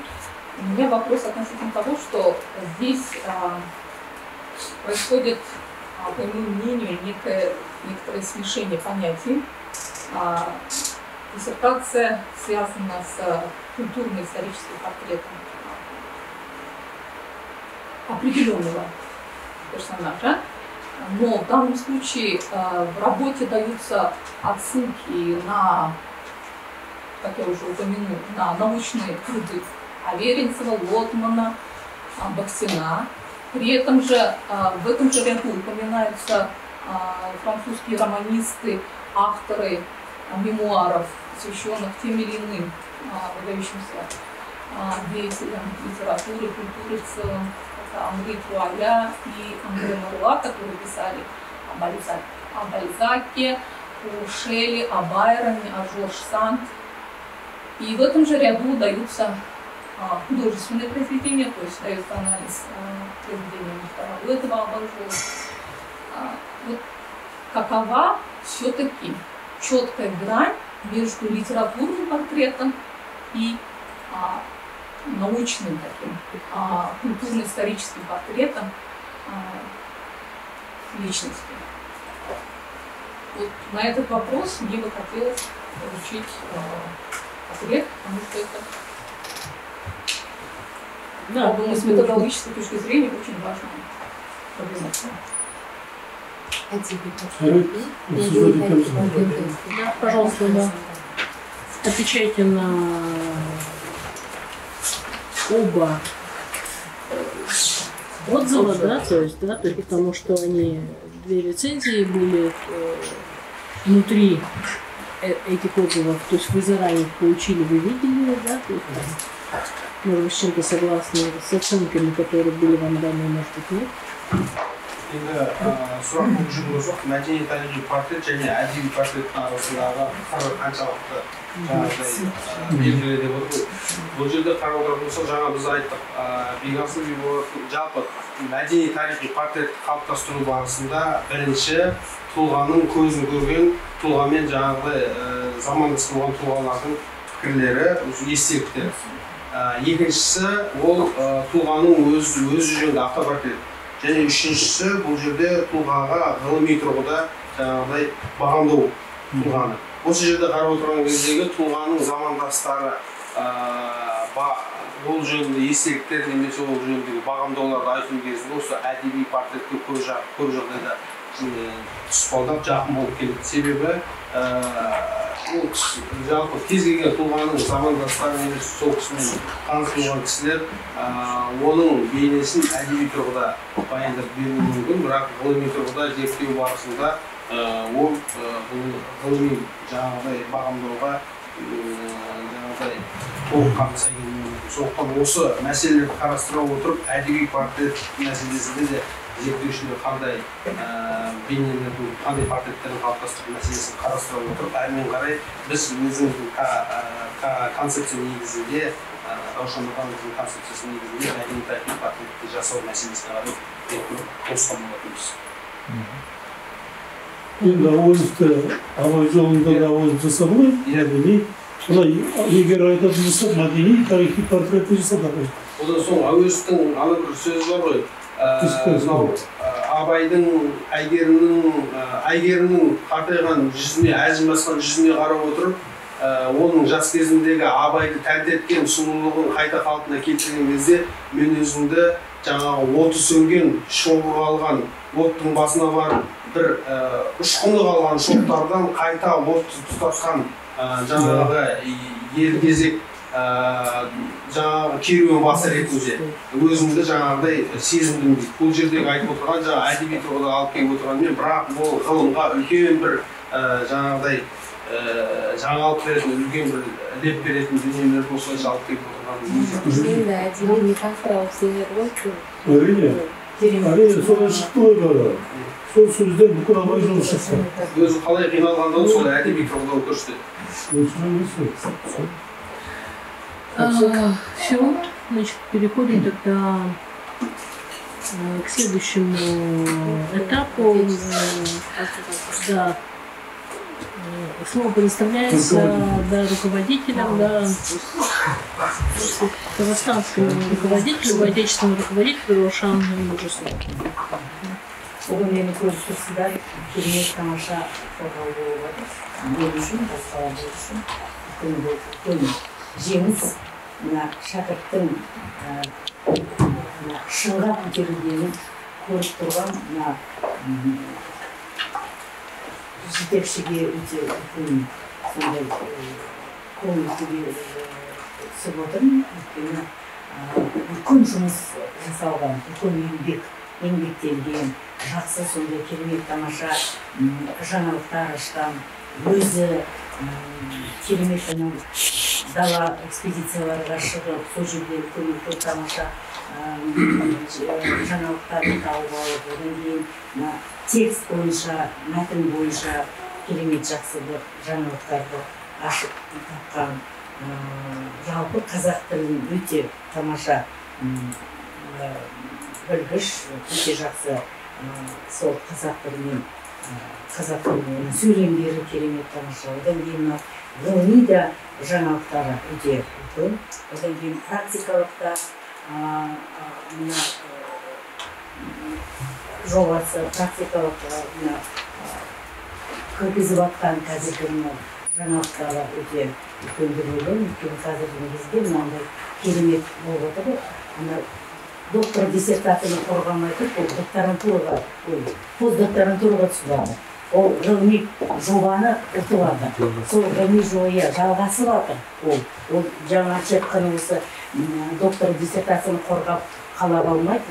Ол одан кейін тағы да жұмыс істеп жатыр қазірдің кезінде жұмыс істеп жатыр сондықтан мен ойлаймын бұл ең сондай мына қазіргі заманның заманауи ғалымның жас ғалымның мәдени тарихи портреті деп айта аламын осы абзалды сондықтан енді енді ол ашылмаған нәрселер әлі көп әлі де осы тақырыпта жұмыс істейтін зерттейтін ғалымдар әлі шығады құдай қаласа өзінің де шәкірттері шығады құдай қаласа. Бірақ қазіргі кезде үлкен сонда біз бәріміз де бір үлкен бір жеңістің үлкен бір ә, салиқалы сондай парасатты жұмыстың куәгері болып отырмыз деп мен айта аламын.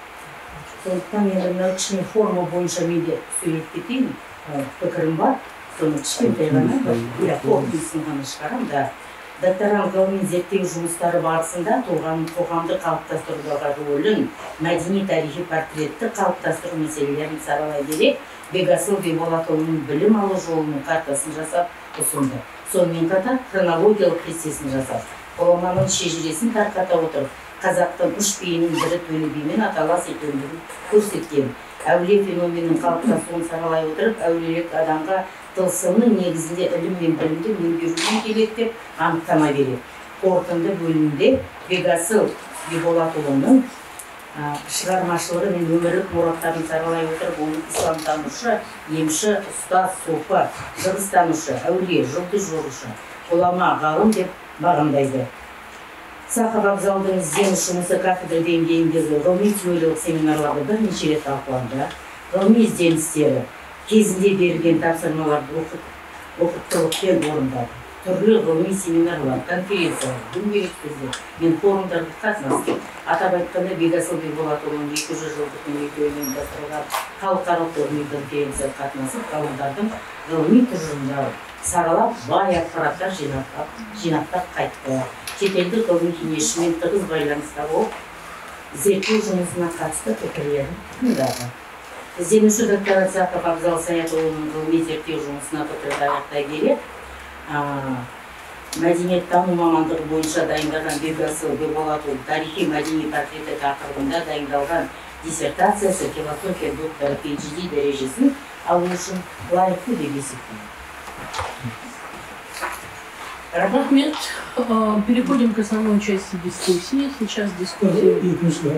А, да, официально, второй официальный оппонент зарубежный Скажи. научный руководитель. э, Скажи. Он не присутствует, он зачитывает его. Вот с английского переводится. жоқ ә, иә ә, гүлен шынай ә, шетелдік ә, ғылыми кеңесшісі ұлдақ университетінің профессоры гүлен шынайдың пікірі нотариалды түрде аударылған аудармасын оқимын ә, екі беттен тұрады бірақ енді негізгі түсіндеріңіз иә Ә, жалпы с- ә, бекасыл бекболатұлының ә, туралы зерттеу дейді бұл өз, алдына жаңа тақырып болып есептеледі дейді и сақ абзал саясаты сая- саяттайұлының кешірім сұраймын диссертациялық зерттеу тақырыбы бекасыл биболатұлының мәдени портретін жасауға арналған соның негізінде дейді ол ә, бекасыл биболатұлының өмірлік деректеріне сүйене отырып алғаш рет хронологиялық кесте жасалған дейді ол жаңа ғана айтып кетті да сонымен қатар бекасыл биболатұлының әулиелік деңгейін көрсететін ә, дәлелдейтін сигзал еңбегі арқылы жеткізген дейді. Сигзал еңбегі бұл бекасыл бекасылдың әулиелік деңгейін деңгейінің көрінісі болып табылады дейді. Жалпы сахов абзал саяздаевичтің жүргізген зерттеулеріне толығыменен қолдауын көрсеткен және бұл жүргізген зерттеулері қазіргі қазақстанның рухани жаңғыруы үшін өзекті мәселе болып табылады дейді.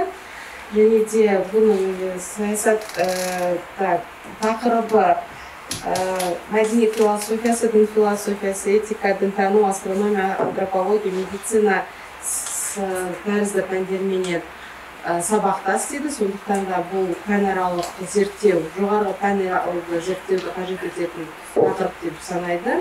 Және қорыта келген кезде сақып абзал саятбайұлының ә, бекасыл бекболатұлы мәдени тарихи портрет тақырыбындағы докторлық диссертациясы философия докторы дәрежесін алуға лайықты деп есептеймін деп қорытындылайды Хорошо, теперь точно уж переходим к дискуссии. И первый вопрос я хочу задать, да, то есть, потому что у меня есть какое-то чувство неудовлетворенности от ответов а, в первой части членам а, диссертационного совета по поводу вот, концептуализации такого понятия, как аулие. Это действительно очень важно и прям вот такое вот это больше, чем вопрос для религиозных э, исследователей, для философских, или культурологических исследователей. Это, с моей точки зрения, такой эпистемологический вопрос. Значит, вы дали такой ответ, что, возможно, аулие – это э, как бы такой образ, который, э, в котором пересекается и научная составляющая, и религиозная, да, то есть знание и вера, да, то есть знание и вера. Но здесь же должна быть еще определенная практика. То есть мы понимаем, вот особенно когда вот ваш, у вас в диссертации есть этот фрагмент про картографию, да, то есть что не так просто все эти города вовлечены, все эти населенные пункты все вовлечены в эти маршруты, потому что это определенная информация о культурных ландшафтах. Да, то есть это э, как бы еще такая тема, связывающая, то есть как они между собой общались. Да, это вот первый вопрос, который Сайра задавала. Да, то есть это вот как вообще формировалось, зна- формировалось передавалось знание в степи в степи, вот в этих условиях вот кочевой культуры, кочевой цивилизации, как говорит э, Юрий Половесевич, да, то есть, Ну, и да. это, ну, вот сам, сам вот этот Не концепт, всегда так говорю. ну, когда при молодых это Вот, и поэтому у меня вот, вот такой вопрос. То есть, если бы мы сейчас взяли бы отдельную тему, связанную с Аулие, да, то есть, что такое вот Аулие, да, то есть, ну, ясно, что мы не можем эссенциализировать вот, вот это понятие. Нам его нужно дальше достаточно как бы хорошо критически проработать и понять, да, то есть вот где какую функцию он выполняет, где какие э, структурные элементы внутри него вот зашифрованы, э, вписаны, да, то есть вот если бы вы делали сейчас новый еще проект, да, то есть про Аулие, то на что бы вы обратили внимание с учетом того, что вы уже неплохо знаете хотя бы историю и культурную реконструкцию ну, одного из них, да, то есть, или некоторых из них, которые ну, находились в орбите ва- вашего объекта исследования. То есть, как бы мы дальше это концептуализировали? Это мой один вопрос. Пожалуйста, еще ваш вопрос. Я обсуждение, да? Обсуждение. Нет, пока вопросы, пока А вопросы. кому вопрос? И мужу, да. А ему можно вопрос задать? Это члены диссовета. А сейчас вопросы, вопросы дискуссия для всех, кто в зале. Нет, только члены могут э, что-то говорить, не для всех. Да. Не выступать, обсуждать, задавать Я вопросы. согласия. болғанда Обсуждение. мен член болдым, Да, да? Можете задать вопросы. Илья, вот знаете, хочу высказаться. На Аулия. Аулия деген кім? Вот у всех этот вопрос висит. Кто такой Аулия?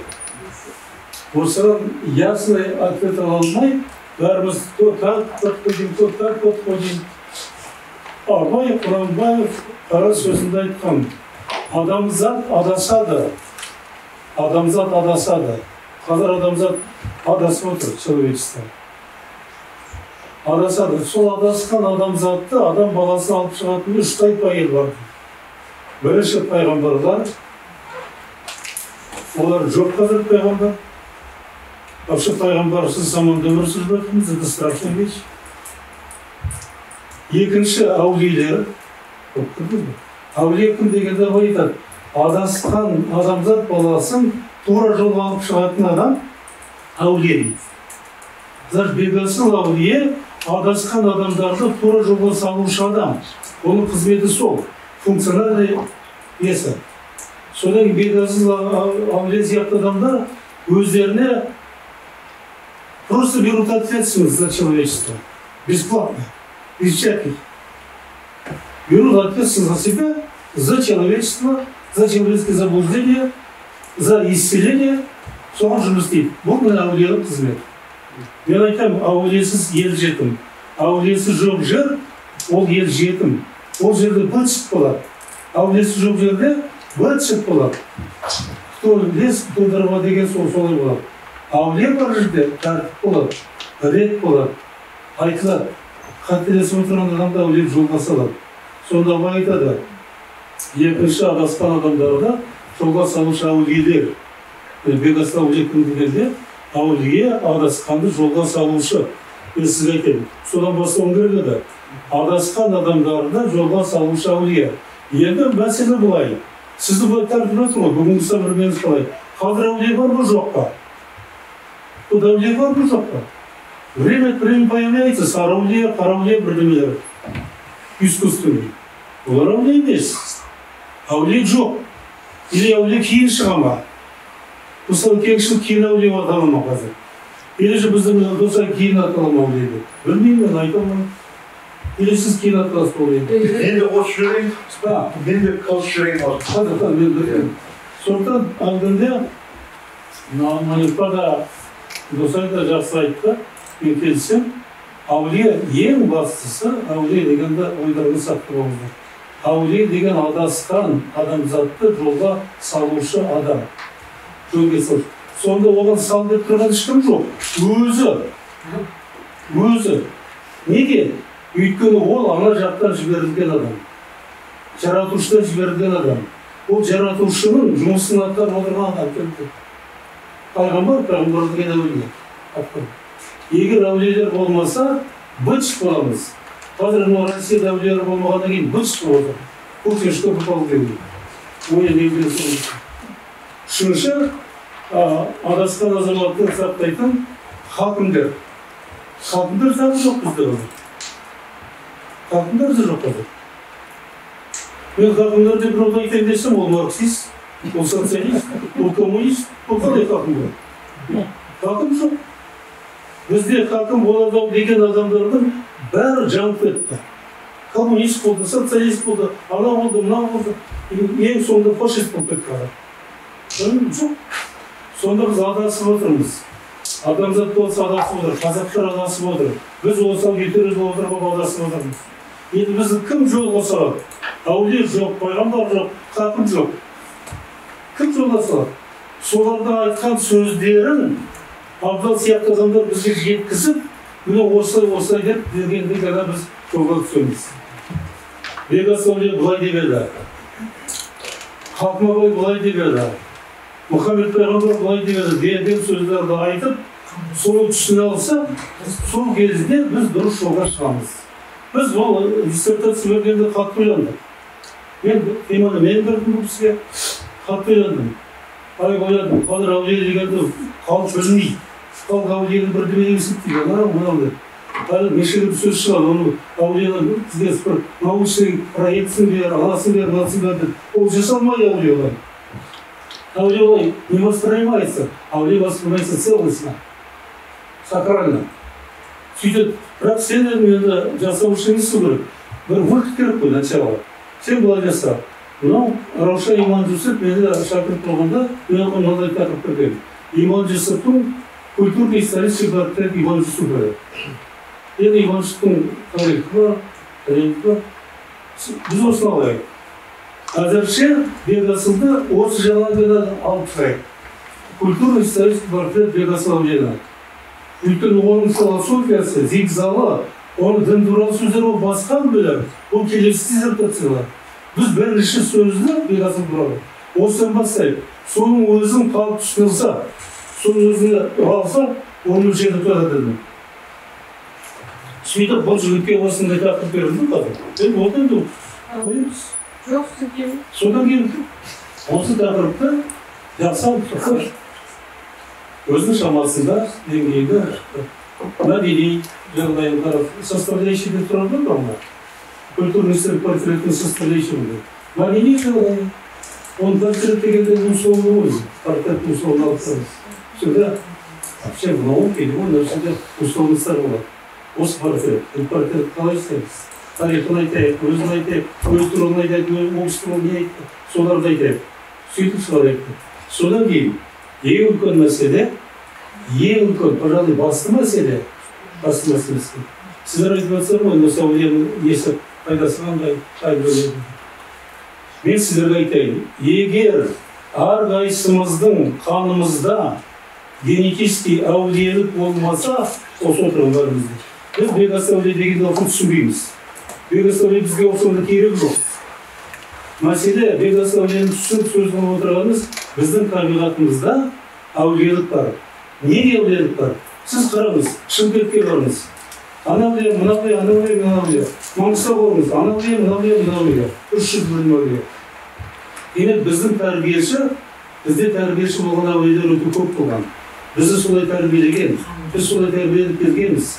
Другой вопрос. В условиях социализма тоталитарной системы вот это разбили клочья а так целостно келе жатқанбыз біз дұрыс келе жатқанбыз енді речь идет о, о восстановлении. Это возрожденский нәрсе мына жасап отырған возрожденский. Болғасын всегда қиын анау қалай мынау қалай тем более бізде ескі сана тұр ғой ескі сана әулие дегенге кішкене былай штыки. Что такое әулие енді әулиені сіз қараңыз әулиені орысша аударамыз әулиені орысша аударамыз старец сен старцы дейміз біз орыстарда святой дейміз келмейді әулие келмейді қалай тұр әулие адасқан азаматты жолға салушы адам ұстаз әулие деген ұстаз бәріміздің ұстазымыз көрдіңіз ба ұстаз ұстазы болмаса мен айтамын әулиесі болмаған ел жоқ біздің қазақ халқына қуану керек бізде әулие көп неге әулие көп әулиенің көптігі бізге жаман емес олар бізді тәрбиелеп жатыр әлі де тәрбиелеп жатыр қазір өздері болмаса да міне абзал сияқты тағы басқа жігіттер осы әулиелерді алып шығып айтқан сөздерін айтып бізге жеткізіп жатыр аз ба бұл аз емес бұл аз емес әлі де қарастыру керек сондықтан бұл әулие кім деген кезде әулие ұстаз ал бізді жөнге салушы адам бұл анықталады біз анықтама бергенде айтады ғой анықтама бергенде сол предмет сонымен өледі даешь определение предмет исчезает анықтама емес принцип нәрсені сақтау керек әулие қандай ұстаз әулие адасқан елді жолға салушы достаточно жетті Хорошо. все Давай перейдем дальше. Можно Спасибо сказать? большое. Сейчас э, А. Эдер Паркулович начнет. енді қысқаша айтайын бұл ағамызбен толық келісемін иә біздің ә, қазақтың жерінде қазақтың тарихында қазақ мәдениетінде толып жатқан тарихи тұлғаларымыз жеткілікті әр қазақстанның әр жерінде осы бүгінгі қорғалып жатқан диссертация осындай оңтүстік қазақстандағы ғұлама ағартушы бекасыл әулие туралы бекасыл әулиені оқып тұрғанда бұл кісі бір жағынан қараса тарихи персонаж бүгін мәдениеттанудан қорғап жатыр біздің қорғау ә, мәдениеттанудағы орны бекасыл әулиенің орны мәдениеттануда бұл кісі тарихи персонаж шежіреде аты тұр ұрпақтары тұр жалғасу болған адам еңбектері анық басылып көпшілікке ұсынылып отыр енді ғалекең айтқандай дұрыс енді енді келесі этап сол еңбектерді талдау керек жаңағы әулие туралы термин туралы. Әулие бұл енді мәдениеттанудың тақырыбы емес бұл дінтанудың тақырыбы көбірек жақындау. Әулие деген қазақтың қазақтың мұсылман ә, болмысында бар нәрсе әулие. Сіз айтқандай дұрыс ол бізге жар көрсететін жол көрсететін. Үлгі. Әулие деген кімдер деп ә, талай ә, еңбектерде жазылған әулиелер туралы. Ислам әдебиетінде толық жазылған. Көптеген еңбектер бар. Оны сүйеніп дәлелдеп айтуға келесі, келесі жұмысыңызда оны жазыңыз. Ол жеткілікті әр еңбекте. Кім ол әулиелер деп әлишер набайдың көрсетіп тұрады. Әулиелер кімдер болған? Қожа ахмет яссауи әулие. Низами көрсетеді әулиелер туралы. Анау көк шапанды киіп ол халықтың арасында көрінбейді дейді. Олар арамызда жүр дейді. Олар арамызда жүр. Ол өзіне емес алланың берекетін басқа адамдарға тілеуші адам сол әулие деп айтады. Ол оның қолын ұстағанда бір еңбектерде айтады қолын ұстағанда сезбейсіз оның қолын. Ол оның қолында сезбейсіз ол арамызда жүр сондықтан әулиелер ол бар уақытта болған бар болады. Адамдарға тарихың айтқандай жарық көрсетуші прожектор жол көрсетуші. Қараңғыдан жарыққа көрсететін жол. Міне әулие деген. Святые в исламе еңбектерде святые роль святых в исламе святые в христианстве ұқсастық көп между прочим между образом святого в исламе и святого в христианстве очень много схожести. После их смерти, на, их, на месте их смерти жаңағы иман жүсіптің анау мазары сияқты сол жерде ағаш өседі ешкім оған су су құймаса да ағашты екпесе де өзінен өзі ағаш көгеріп бәйтеректей ағаш өседі ойламаған жерде бұлақ шығады родник появляется с лечебной водой и все туда тянутся. Дұрыс айтасыз қареке адамдарды тартады олар тартады бекасыл әулие осындай оңтүстікте осындай еңбек жасады. Оңтүстік қазақстанда оның ол туралы еңбектер көп ол кісінің еңбектерінде бәрі ашық жазылған. Ол бізге неге қандай бізге із қалдырды? Жаңа сұрақ берілді ғой диссертантта қандай із қалдырды? Біздің қазақстанда ол үлкен бекет ата батыс қазақстанда қандай рөл атқарды? Оңтүстік қазақстанда бекасыл бабамыз да сондай рөл атқарды. Ибрай алтынсарин қостанайда қандай рөл атқарды? Он тоғызыншы ғасырда. Осындай рөлді ә, бекасыл әулиеде медресе ашып халықтың көзін ашып білімге жол ашып шәкірттер тәрбиелеп солардың ішінен әкімдер билер солардың ішінен ғұламалар ғалымдар шыққан. Он тоғызыншы ғасырдың аяғына дейін медресе медреселерде біздің мәдениеттануда біз дәрісте айтамыз. Мәде, ә, медреселерде ол тек қана ә, бір жаңағыдай географияның биологияның мұғалімі деп айтылмайтын географияның биологияның математиканың мұғалімі ол діннің түбіне дейін зерттеген адам болатын. Діннің түбіне дейін зерттеген адам сол, сол басқа ғылымдарды да бірге алып барған. Математиканы географияны да биологияны да есеп теориялықты оны кеңшіл бауырымыз оны жақсылап менен кейін тағы да нақтылап айтып бере алады сондықтан міне мінекей бүгін диссертантымыз осы үлкен ғұламаны тарихымызда ә, мәдениеттануымызда аты болмаған адамды орнына осы ғылымның ішіне кіргізіп отыр енгізіп отыр. Ары қарай енді жұмыс көп. бәрекелді дұрыс енді айдар бір сөз айтайын сізге иә сол медреседе оқыған югославияда оқыған адамдардың ішінен коррупционерлер шықпаған иә средний века средний века коррупционер адам дегендер болмаған бізде қазақстанда Это сейчас, это паразитические явления, сейчас появились. В средние века коррупция, она мынау дегендер болмаған началь, начальниктарда. Не было, не было в средние века. Понимаете? Это потом появился вот этот коррупция, она мынау. Вот э, смотрите, что происходит. Если мы вот аулия, термин аулия, да, даем только вот такое философское, метафорическое значение, или только религиозное, то тогда действительно в средние века у нас не было никакой коррупции.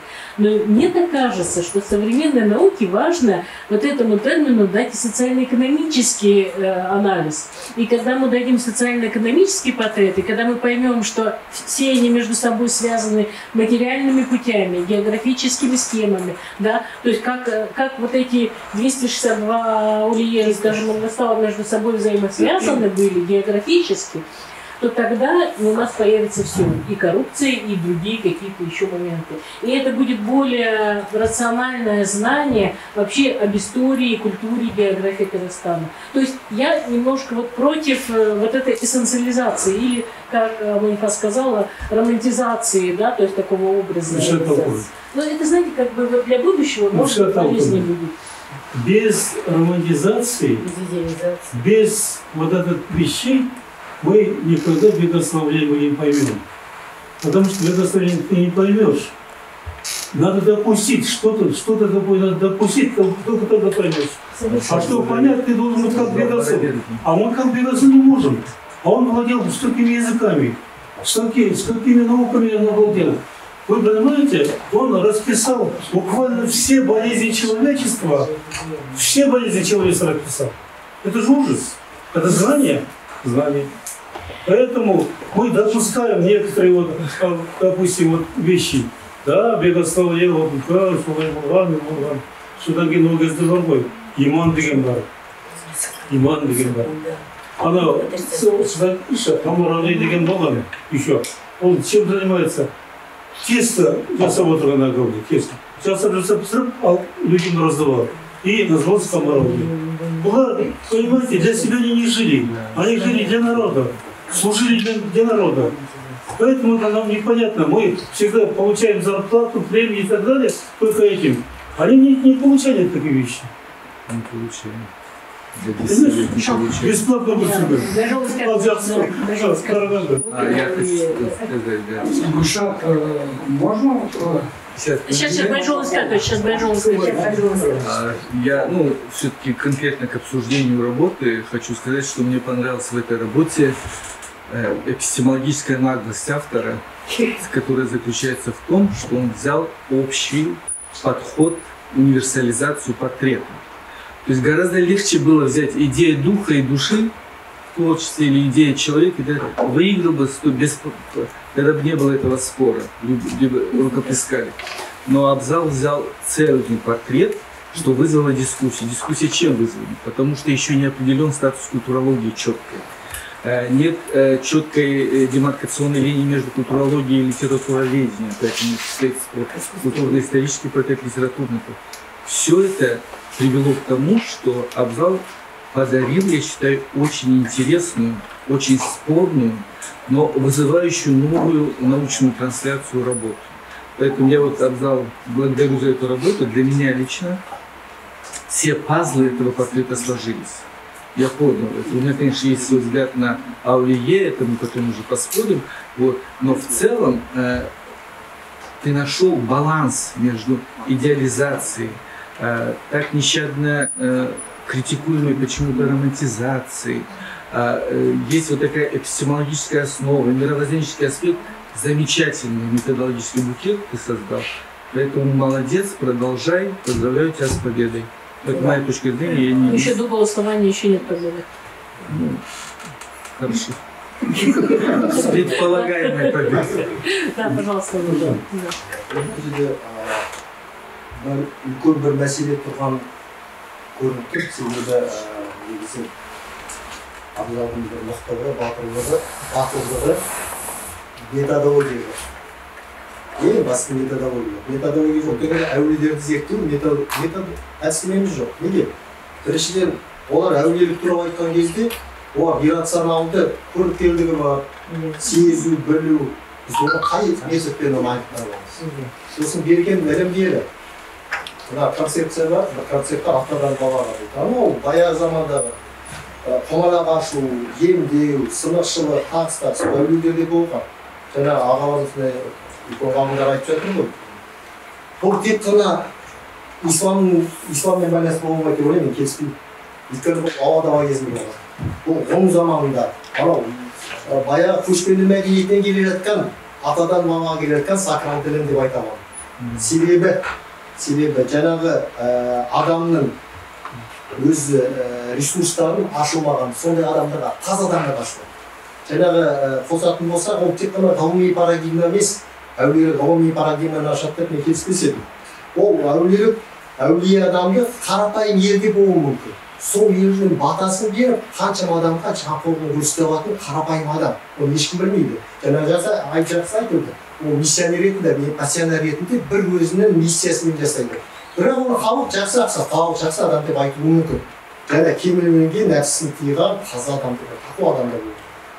сол себепті мына методологияға келетін болсақ расында да бұл бірнеше мақалаларды көрдім мен зерттеулер бар. Бірақ бүгінгі күні иррационалды әлемді қай парадигмамен ғылыми енгіземіз? Осы сұрақ шығар. Сондықтан ә, концепт ретінде мәдени концепт ретінде жаңағы анықтамасы берілмесе де бір пішінесі туылған сияқты. Болашақта мен ойлаймын ол теология дінтануда философияда бірақ мәдениеттануда өзінің бір пішіні болу керек. Және әулиелік деген ұғым сондықтан жаңағы көп жаңағы айтып жатқан сұрақтар туындап жатқан ол әулиеліктің мәдениеттанулық немесе теологиялық немесе дінтанулық анықтамасы берілмеген. Екі ақ адамның анықтамасымен өте Келісемін. рахмет. Вопросы, дискуссии больше нету. Ну, Вот э, по протоколу, Куралай, скажите, пожалуйста, мы можем дать слово или после голосования? Так как мы не можем, можем после голосования. После голосования мы можем вам дать слово. А, э, Сейчас э, в зале остается член э, регистрационного совета, мы и оппоненты, да, то есть мы переходим к процедуре голосования. Да, да, минут через 10, да, то есть все вернетесь в зал. А, Те, которые сидят онлайн, им стало Дусай Мурзай, дауыс беру басталды. Яна Сергеевна, начинается голосование. Я сейчас запущу. Да. Да, я слышу. Э, Семь минут енді астына Yanında bilet toplamam çok Сіз оңай миыңыз жабылып қалды. Дос. Кнопкадан басқа басқа.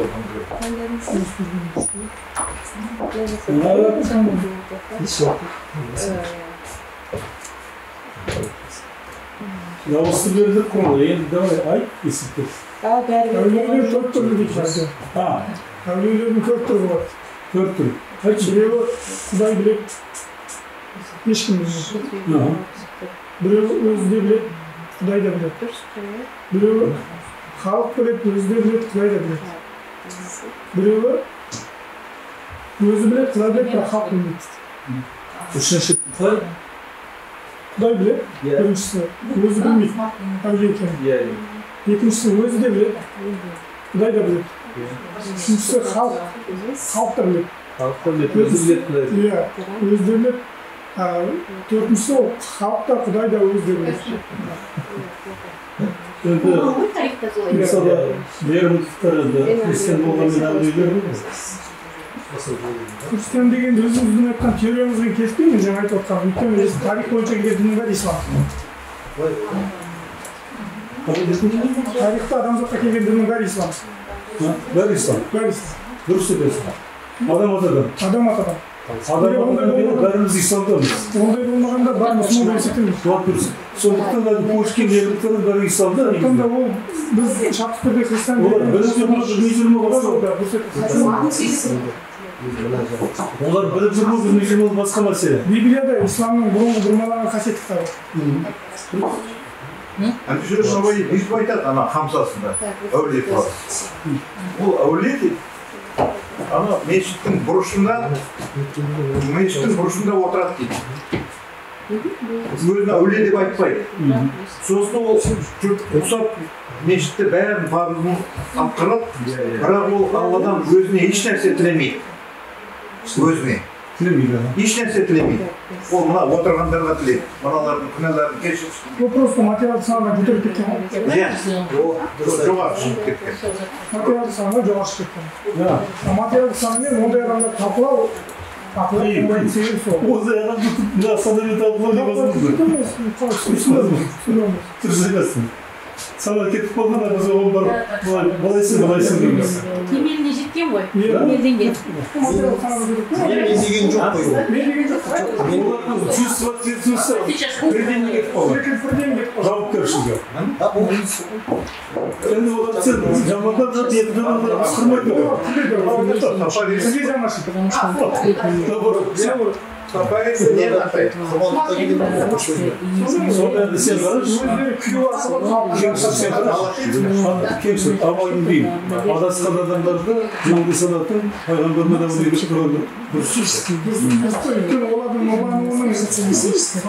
алла тағала оларға біздің үшін беріп қойған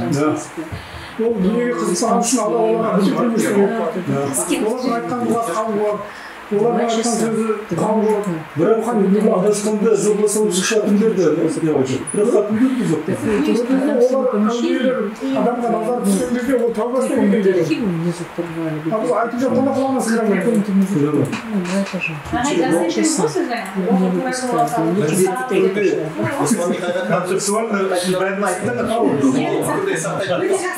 одан артық ол кісі сабақсыз жауап кетпейді жоғарғы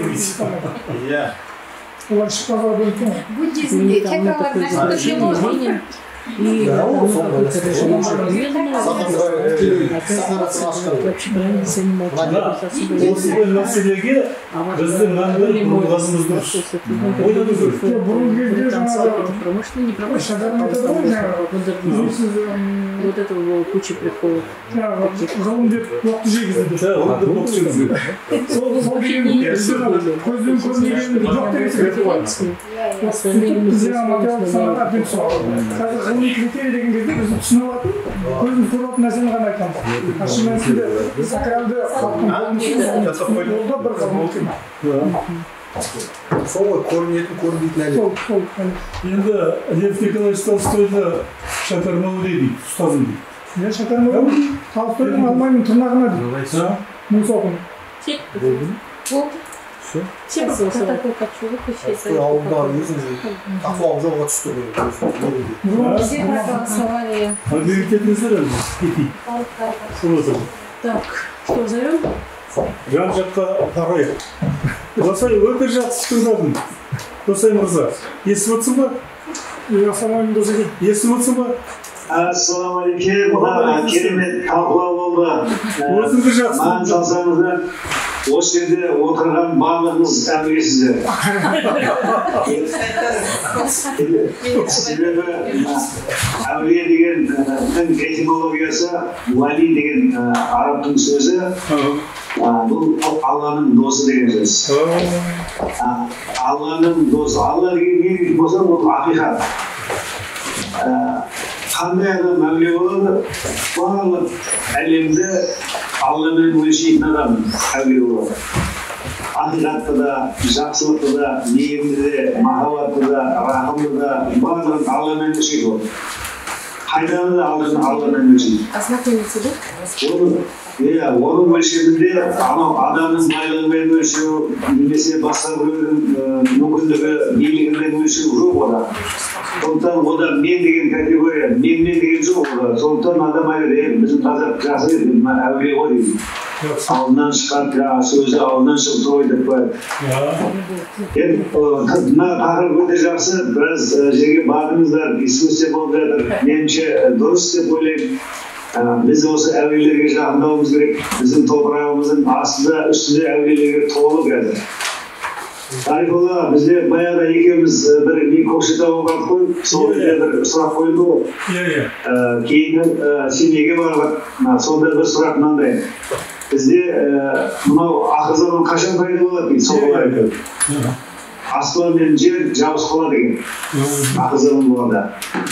Ал енді сол аспан мен жердің жабыспауы не үшін себебі бұл әлемде әулиелер бар солар тірек тұр дейді екі жерде аспан менен жердің жабысып қалуы егер егер қазір айналамызда әулиелер болмағанда аспан мен жер давно жабысып қалар еді Сондықтан біз әулиелеріміздің барына шүкір етейік бір бірімізді қадірлейік тірі кезімізде айналамыздағының барлығы алланың жердегі көлеңкесі алланың өкілі ретінде қарайық адамның көзіне қараған кезде алланы көрген адам ол әулие өзі де и көргіші де әулие болады мен көріп отырмын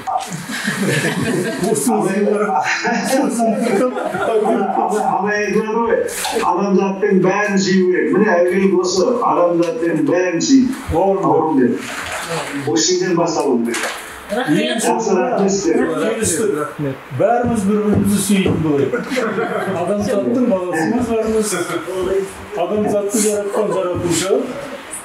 Оның да все все все достое сөзінде Вот, сондықтан жаратушыға разымыз гүлшатқа разымыз осындай диссертацияны қойып отырған Э, Давайте мы перейдем э, к протоколу все-таки, да, то есть сейчас ученый секретарь озвучит результаты голосования, потому что голосование у нас происходит э, через онлайн, через систему Kino, и протокол, да, то есть официально выходит из,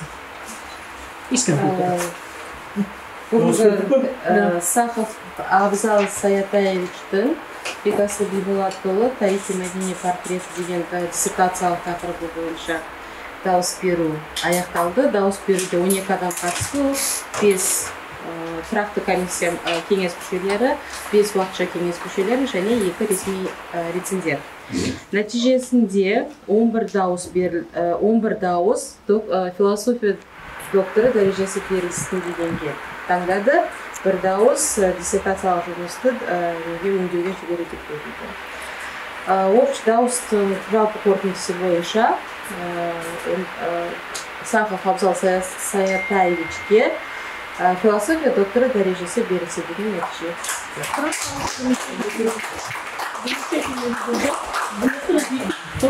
Сейчас мы переходим к классификационным признакам диссертации. Да? То есть я тут зачем два часа сижу? Два часа сижу, жду три часа. Своего часа. Своего звездного часа. тақырыптың белгілері барлықтарыңызда бар Ә, сол жерде оқып танысып отырсаңыздар болады Так, смотрите. Яна Сергеевна, квалификационные характеристики. Сейчас я уберу эту демонстрацию экрана. То есть у вас у всех есть э, бумага, да, то есть для удобства все, все пункты зачитывать я не буду. По пункту 8.1 характер результатов диссертации я предлагаю 8.1.2 решение научной проблемы, имеющей важное социально-культурное, экономическое или политическое значение. По пункту 8.2 уровень новизны. Уровень новизны.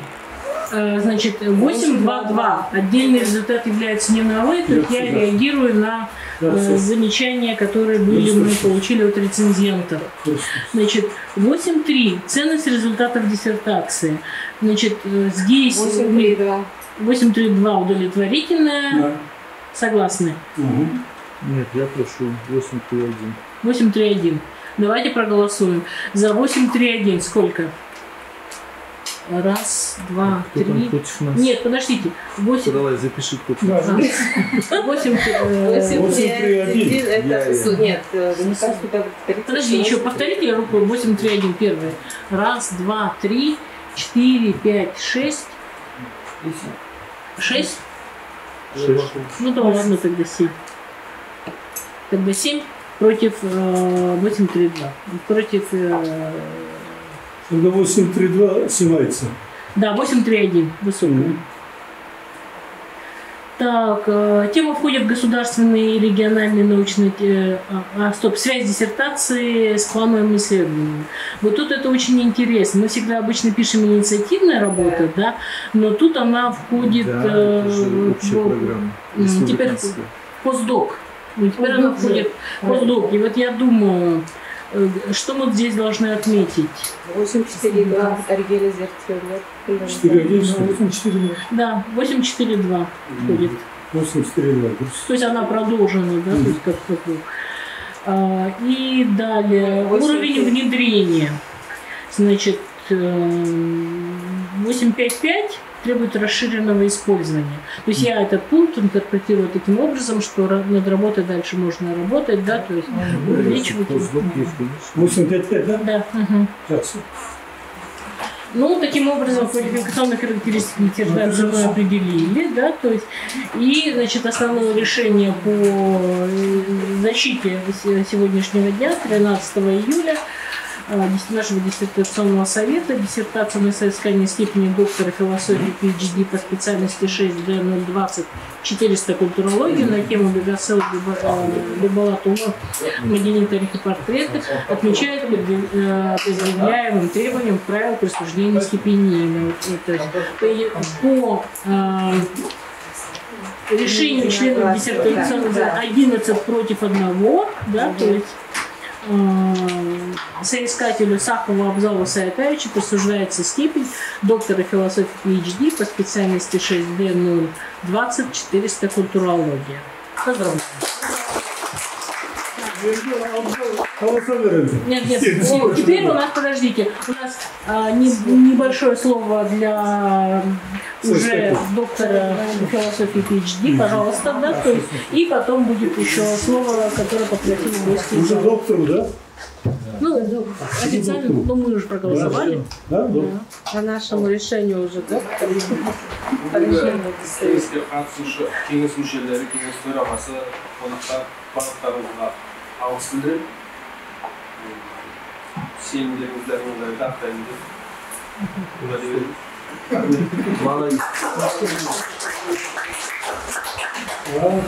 Пожалуйста, вам слово, да. Пять минуточку еще одно выступление. Генерал, сержант. Исатулов. Наверное, Яна Сергеевна да, объяснит, кто он? А, Яна Сергеевна, вот э, в самом начале, когда наш диссертант выступал, он делал один слайд, в котором он о своем объекте исследования, да, то есть он делал такую привязку к шижире. Шижире – это родословные, которые мы используем, используются в казахской культуре для обозначения степени значимости. Ну, то есть это как бы это эпистемологическая модель, можно так сказать, да, то есть и э, вот сейчас у нас э, потомок, Прямой да, то есть, да, прямой потомок, э, да, правнук, да, то есть и э, человек, который имеет тоже большую научную степень, доктор политических наук, я так поняла, да, то есть, вот, и он тоже будет, э, ну, как бы, по поводу ну, объекта нашего вот, сегодняшнего заседания, да, то есть небольшое, небольшое выступление. Иван Исаков. Я могу на двух языках говорить, ну, поскольку нельзя. Но бүгін осы біздің ең басты жоғарғы оқу орнымызда бекасыл муллатұлы туралы диссертация қорғалып отқанына мен өте қуаныштымын мынау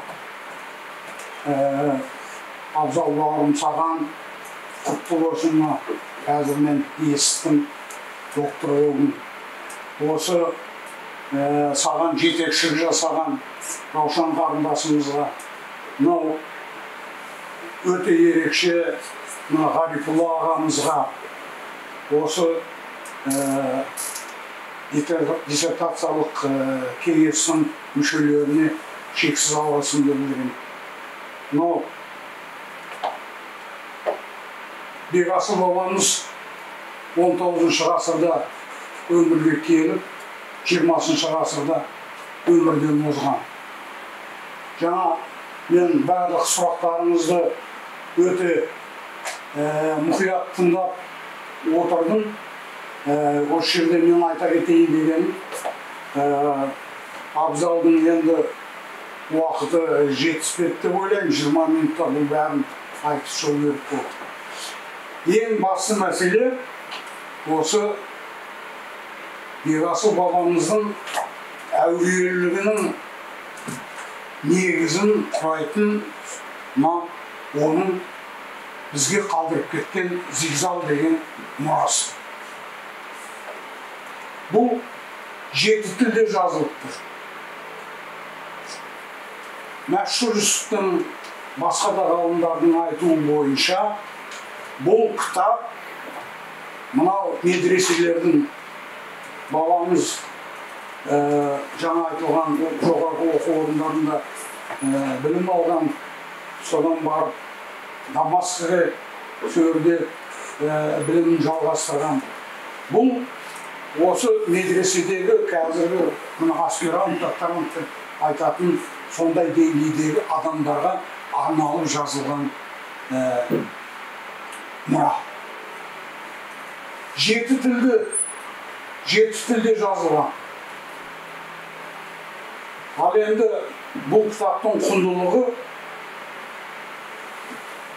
бұл кітапта адам өміріне қатысты барлық мәселелер қамтылған және соларға кеңестер берілген кітаптың бірінші бөлімі жаңа байқасаңыздар қалнама деген болжам ғылымы мына жерде бірінші бетінде жазылады қазіргі мынау кибернетика қазіргі мынау цифрология нумерология деген жаңағы гороскоптарды не алып жатқан мына қазіргі интернет заманының негізі осы кітапта бірінші бетінде жазылған адам алланың ең сүйіп жасалған ә, басқа мақұлықтардан ә, айырмашылығы жаңағы оның сөйлей алатын ойлай алатын санасы бар нәрсе егер сол адамдар жаңағыдай ә, адаспай тура жол жүрсе ол бақытты дәулетті болады мынау бүгінгі тақырып өте